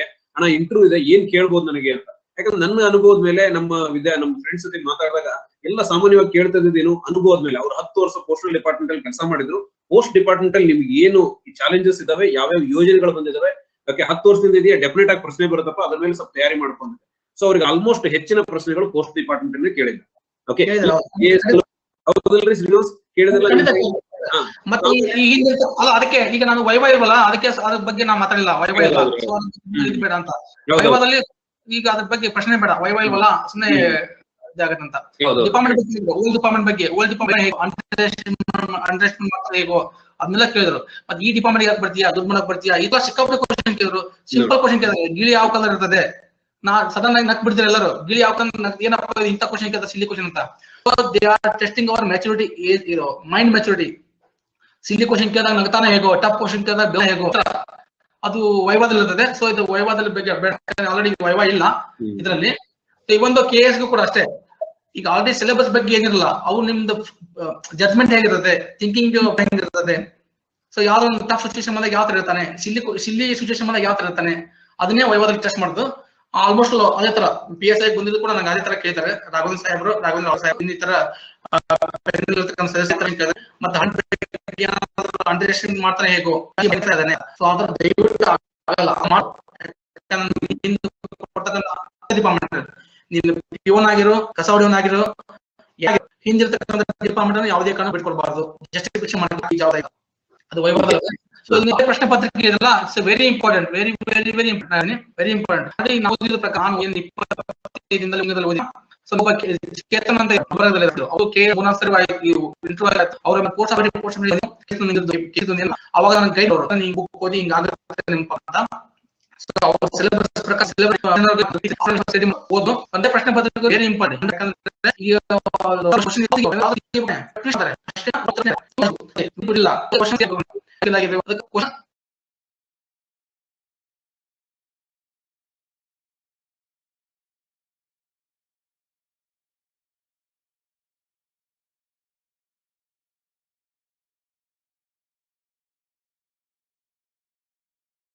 ಇದೆಯಲ್ಲ ನನ್ನ ವಾಯ್ಸ್ ಕೇಳಿಸ್ತಾ ಇದೆ ಎಸ್ ಬಂದ ನೋಡಿ ಎಸ್ ಇಲ್ಲ ಟೆಕ್ನಿಕಲ್ ಪ್ರಾಬ್ಲಮ್ ಈ ತರ ಎಸ್ ನಿಮ್ಗೆ ಒಳ್ಳೆ ಮಾರ್ಗದರ್ಶನ ಸಿಕ್ತು ಇವತ್ತು ಈ ಒಂದು ಓಕೆ ಮತ್ತೆ ನಿಮ್ಗೆ ಜೊತೆಗೆ ಎಸ್ಪೆಷಲಿ ಇನ್ನೊಂದು ಶ್ರೀನಿವಾಸ್ ಅವರು, ಇನ್ನೊಂದು ಏನ್ ಕೇಳ್ತಾ ಇರೋದು ಅಂದ್ರೆ ಮೆಡಿಕಲ್ ಇವರ ಏನಾದ್ರು ಸಮಸ್ಯೆ ಮಾಡ್ತಾರ ಅಥವಾ ಯಾವ ಸ್ಟ್ಯಾಂಡರ್ಡ್ಸ್ ಇರಬೇಕು ಅಂತ ಕೇಳ್ತಾರೆ. ಫಿಸಿಕಲ್ ಬಗ್ಗೆ ಗೊತ್ತಿರುತ್ತೆ. ಫಿಸಿಕಲ್ ಎಲ್ಲರಿಗೂ ಕೂಡ ಗೊತ್ತಿರುತ್ತೆ. ರನ್ನಿಂಗ್ ಆಗಿರ್ಬೋದು ಶಾರ್ಟ್ ಪುಟ್ ಆಗಿರ್ಬೋದು, ಮತ್ತೆ ಲಾಂಗ್ ಜಂಪ್ ಈಗ ಫಿಸಿಕಲ್ ಫಿಸಿಕಲ್ ಅಲ್ಲಿ ಫಸ್ಟ್ ಅಟೆಂಪ್ಟ್ ಇರುತ್ತಲ್ಲ, ಅದನ್ನ ನೀವು ಕ್ಲಿಯರ್ ಮಾಡ್ತೀರಾ ನೀವು ರನ್ನಿಂಗ್ ಪ್ರಾಕ್ಟೀಸ್ ಕೂಡ ಅಲ್ಲಿ ಸುಸ್ತಾಗತ್ತೆ. ಸುಸ್ತಾಗಿ ಕಾಂಪಿಟೇಷನ್ ಇರುತ್ತೆ ಅಲ್ಲಿ ಕಾಂಪಿಟೇಷನ್ ಇರುತ್ತೆ. ನಮ್ ನಮ್ ಇದ್ರಲ್ಲಿ ಜನ ಬಿಟ್ರು. ಅದ್ರಲ್ಲಿ ನಾನು ಎರಡೂವರೆ ಎರಡೂವರೆ ರೌಂಡ್ಸ್ ನಾನು ಫಸ್ಟ್ ಇದ್ದೆ. ನಾನು ಎಂ ಟಿ ಕೆಲವರು ಇರ್ತದೆ ಶೂ ಆಡ್ಬೇಕು ಅಥವಾ ಎಂ ಟಿ ಫಿಟ್ ಓಡ್ಬೇಕು ಅಂತ. ಅದು ನಿಮ್ ಚಾಯ್ಸ್ ನೀವು ಪ್ರಾಕ್ಟೀಸ್ ಮಾಡ್ತಾ ಓಕೆ ಒಂದಿರ್ಬೇಕು. ಸ್ಟಾರ್ಟಿಂಗ್ ಎಷ್ಟು ಮಾಡ್ತಾ ಒಂದೇ feeling ಇರ್ಬೇಕು. ಈಸಿಯಾಗಿ ನೀವು ನೀವು ಈಗ ನೋಡಿ ರನ್ನಿಂಗ್ ಆದ ತಕ್ಷಣ ಹೈ ಜಂಪ್ ಹೈ ಜಂಪ್ ಅನ್ನ ನೆಗ್ಲೆಕ್ಟ್ ಮಾಡಬಾರ್ದು ನೆಗ್ಲೆಕ್ಟ್ ಮಾಡಲೇಬಾರ್ದು ಯಾವುದೇ ಕಾರಣಕ್ಕೆ. ಯಾಕಂದ್ರೆ ಹೈ ಸಾರಿ ಯಾವುದೇ ಕಾರಣ ಎಕ್ಸ್ಕ್ಲೂಡ್ ಮಾಡಲ್ಲ ಡಾಕ್ಟರ್ಸ್ ನಿಮ್ಮಿಂದ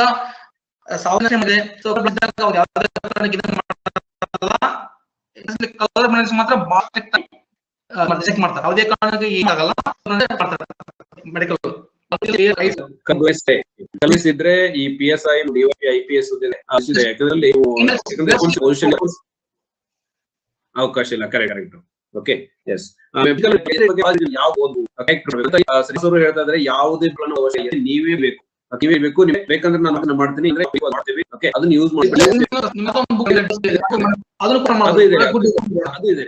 ಅದು P S I focus P S I ಸಂಪೂರ್ಣ ಮಾಹಿತಿ ಸೊ ಟ್ರಾನ್ಸ್ಲೇಷನ್ ಮೂರು ವಿಷಯಗಳನ್ನ ಒಂದೇ ಪುಸ್ತಕದಲ್ಲಿ ಅದೇ ಡಿವೈಸ್ ಅದು ಒಂದ್ ದಿನಕ್ಕೆ ಮಾಡೋದಲ್ಲ ಅದು ಕಂಟಿನ್ಯೂ ಫ್ಲೋ ಚೆನ್ನಾಗಿ ಓದೋದಾಗ್ಲಿ ಬರೆಯೋದಾಗ್ಲಿ ಅದೇ ಫೋಕಸ್ ಬುಕ್ ಇದೆ ಅದನ್ನು ಓದನ್ನು ಕೂಡ ನಾನು ರೆಫರ್ ಮಾಡಿದ್ದೇನೆ.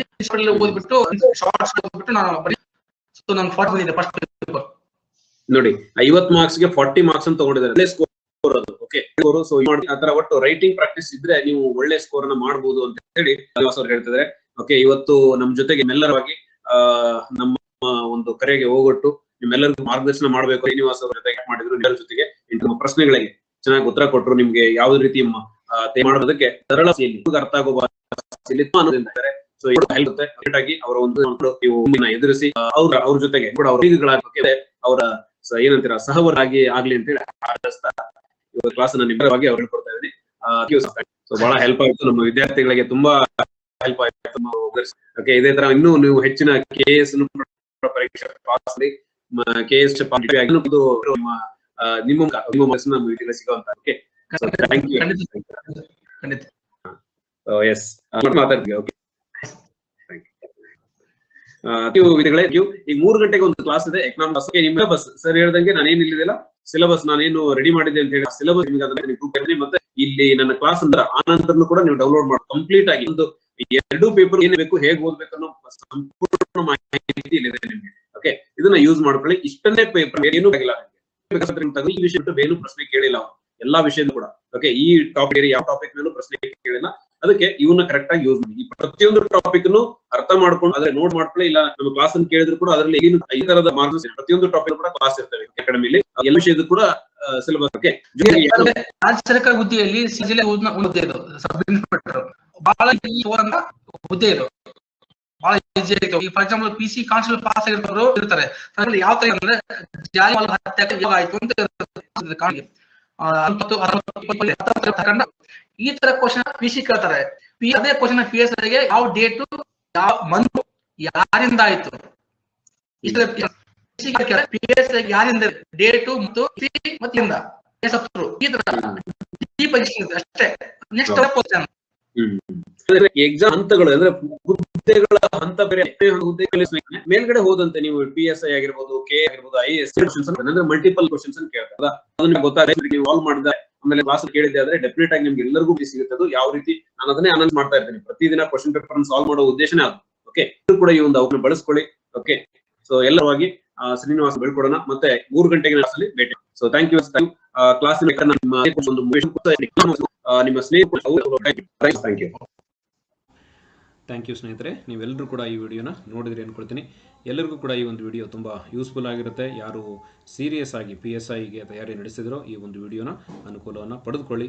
ಮತ್ತು ಈ ಒಂದು ಅನ್ ಅಕಾಡೆಮಿಯಲ್ಲಿ ಇದೇ ಥರ ಟಾಪರ್ಸ್ ಇಂಟರ್ವ್ಯೂನ ಬರ್ತಾ ಇರ್ತವೆ. ಜೊತೆಗೆ ಉತ್ತಮವಾದಂಥ ಕೋರ್ಸ್ಗಳು ಕೂಡ, ಹೊಸ ಹೊಸ ಬ್ಯಾಚ್ ಕೋರ್ಸ್ಗಳು ಬರ್ತಾ ಇರ್ತವೆ. ಪ್ರತಿ ಬ್ಯಾಚ್ ಕೋರ್ಸಲ್ಲೂ ಕೂಡ ನಿಮಗೆ ಸಂಪೂರ್ಣವಂಥ ಸಿಲೆಬಸ್ ಕವರ್ ಆಗುತ್ತೆ. ಓಕೆ ಸೊ ಪ್ರಚಲಿತ ಘಟನೆಗಳಲ್ಲಿ ಸಿಕ್ಕಿರ್ತಕ್ಕಂಥ ಮಾಹಿತಿಯನ್ನು ಕೂಡ ಆಧಾರವಾಗಿ ಇಟ್ಕೊಂಡು ನಿಮಗೆ ಎಲ್ಲ ವಿಷಯಗಳನ್ನು ಕೂಡ ಬೋಧಿಸಲಾಗುತ್ತೆ. ಎಲ್ಲರೂ ಕೂಡ ಈ ವಿಡಿಯೋನ ಲೈಕ್ ಮಾಡಿ, ಶೇರ್ ಮಾಡಿ, ನಿಮ್ಮ ಸ್ನೇಹಿತರು, ನಿಮ್ಮ ಗ್ರೂಪ್ಗಳು ಏನೇನಿದ್ದಾವೆ ಎಲ್ಲರಿಗೂ ಕೂಡ ಇದನ್ನು ಹಂಚ್ಕೊಳ್ಳಿ. ಈ ಒಂದು ಮಾರ್ಗದರ್ಶನ ಎಲ್ಲರಿಗೂ ಕೂಡ ಲಭ್ಯ ಆಗಲಿ. ಅನಂತರ, ಅನ್ ಅಕಾಡೆಮಿಯಲ್ಲಿ ಹೊಸ ಬ್ಯಾಚ್ ಕೋರ್ಸ್ಗಳು ಬರ್ತಾ ಇದ್ದಾವೆ ಸ್ನೇಹಿತರೆ. ಪ್ರತಿಯೊಂದು ಬ್ಯಾಚಲ್ಲೂ ಕೂಡ ನಿಮಗೆ ಸಂಪೂರ್ಣವಂತ ಮಾಹಿತಿ ಸಿಗುತ್ತೆ. ಕೆ ಎಸ್ಗೆ ಫೌಂಡೇಶನ್ ಕಾಂಪ್ರಹೆನ್ಷನ್ ಮತ್ತು ಮೇನ್ಸ್ ಓರಿಯೆಂಟೆಡ್ ಕೋರ್ಸ್ಗಳಿರ್ತವೆ ಒನ್ ಇಯರ್ ಸಬ್ಸ್ಕ್ರಿಪ್ಷನ್ ತೆಗೆದುಕೊಂಡ್ರೆ ನಿಮಗೆ ಕೇವಲ ಒಂಬತ್ತು ಸಾವಿರದ ನಾಲ್ಕುನೂರು ರೂಪಾಯಿದಲ್ಲಿ ನಿಮಗೆ ಈ ಒಂದು ಕೋರ್ಸು ಲಭ್ಯ ಆಗ್ತದೆ. ಓಕೆ ಇದರ ಡಿಸ್ಕ್ರಿಪ್ಷನ್ನು ಈ ಒಂದು ಮಾಹಿತಿ ಲಿಂಕು ನಿಮಗೆ ಡಿಸ್ಕ್ರಿಪ್ಷನ್ ಬಾಕ್ಸಲ್ಲಿ ಸಿಗುತ್ತೆ. ಎಲ್ಲರೂ ಕೂಡ ಈ ಒಂದು ಕೋರ್ಸನ್ನು ಎನ್ರಾಲ್ ಮಾಡಿಕೊಂಡು ಕ್ಲಾಸನ್ನು ಅಟೆಂಡ್ ಮಾಡಿ.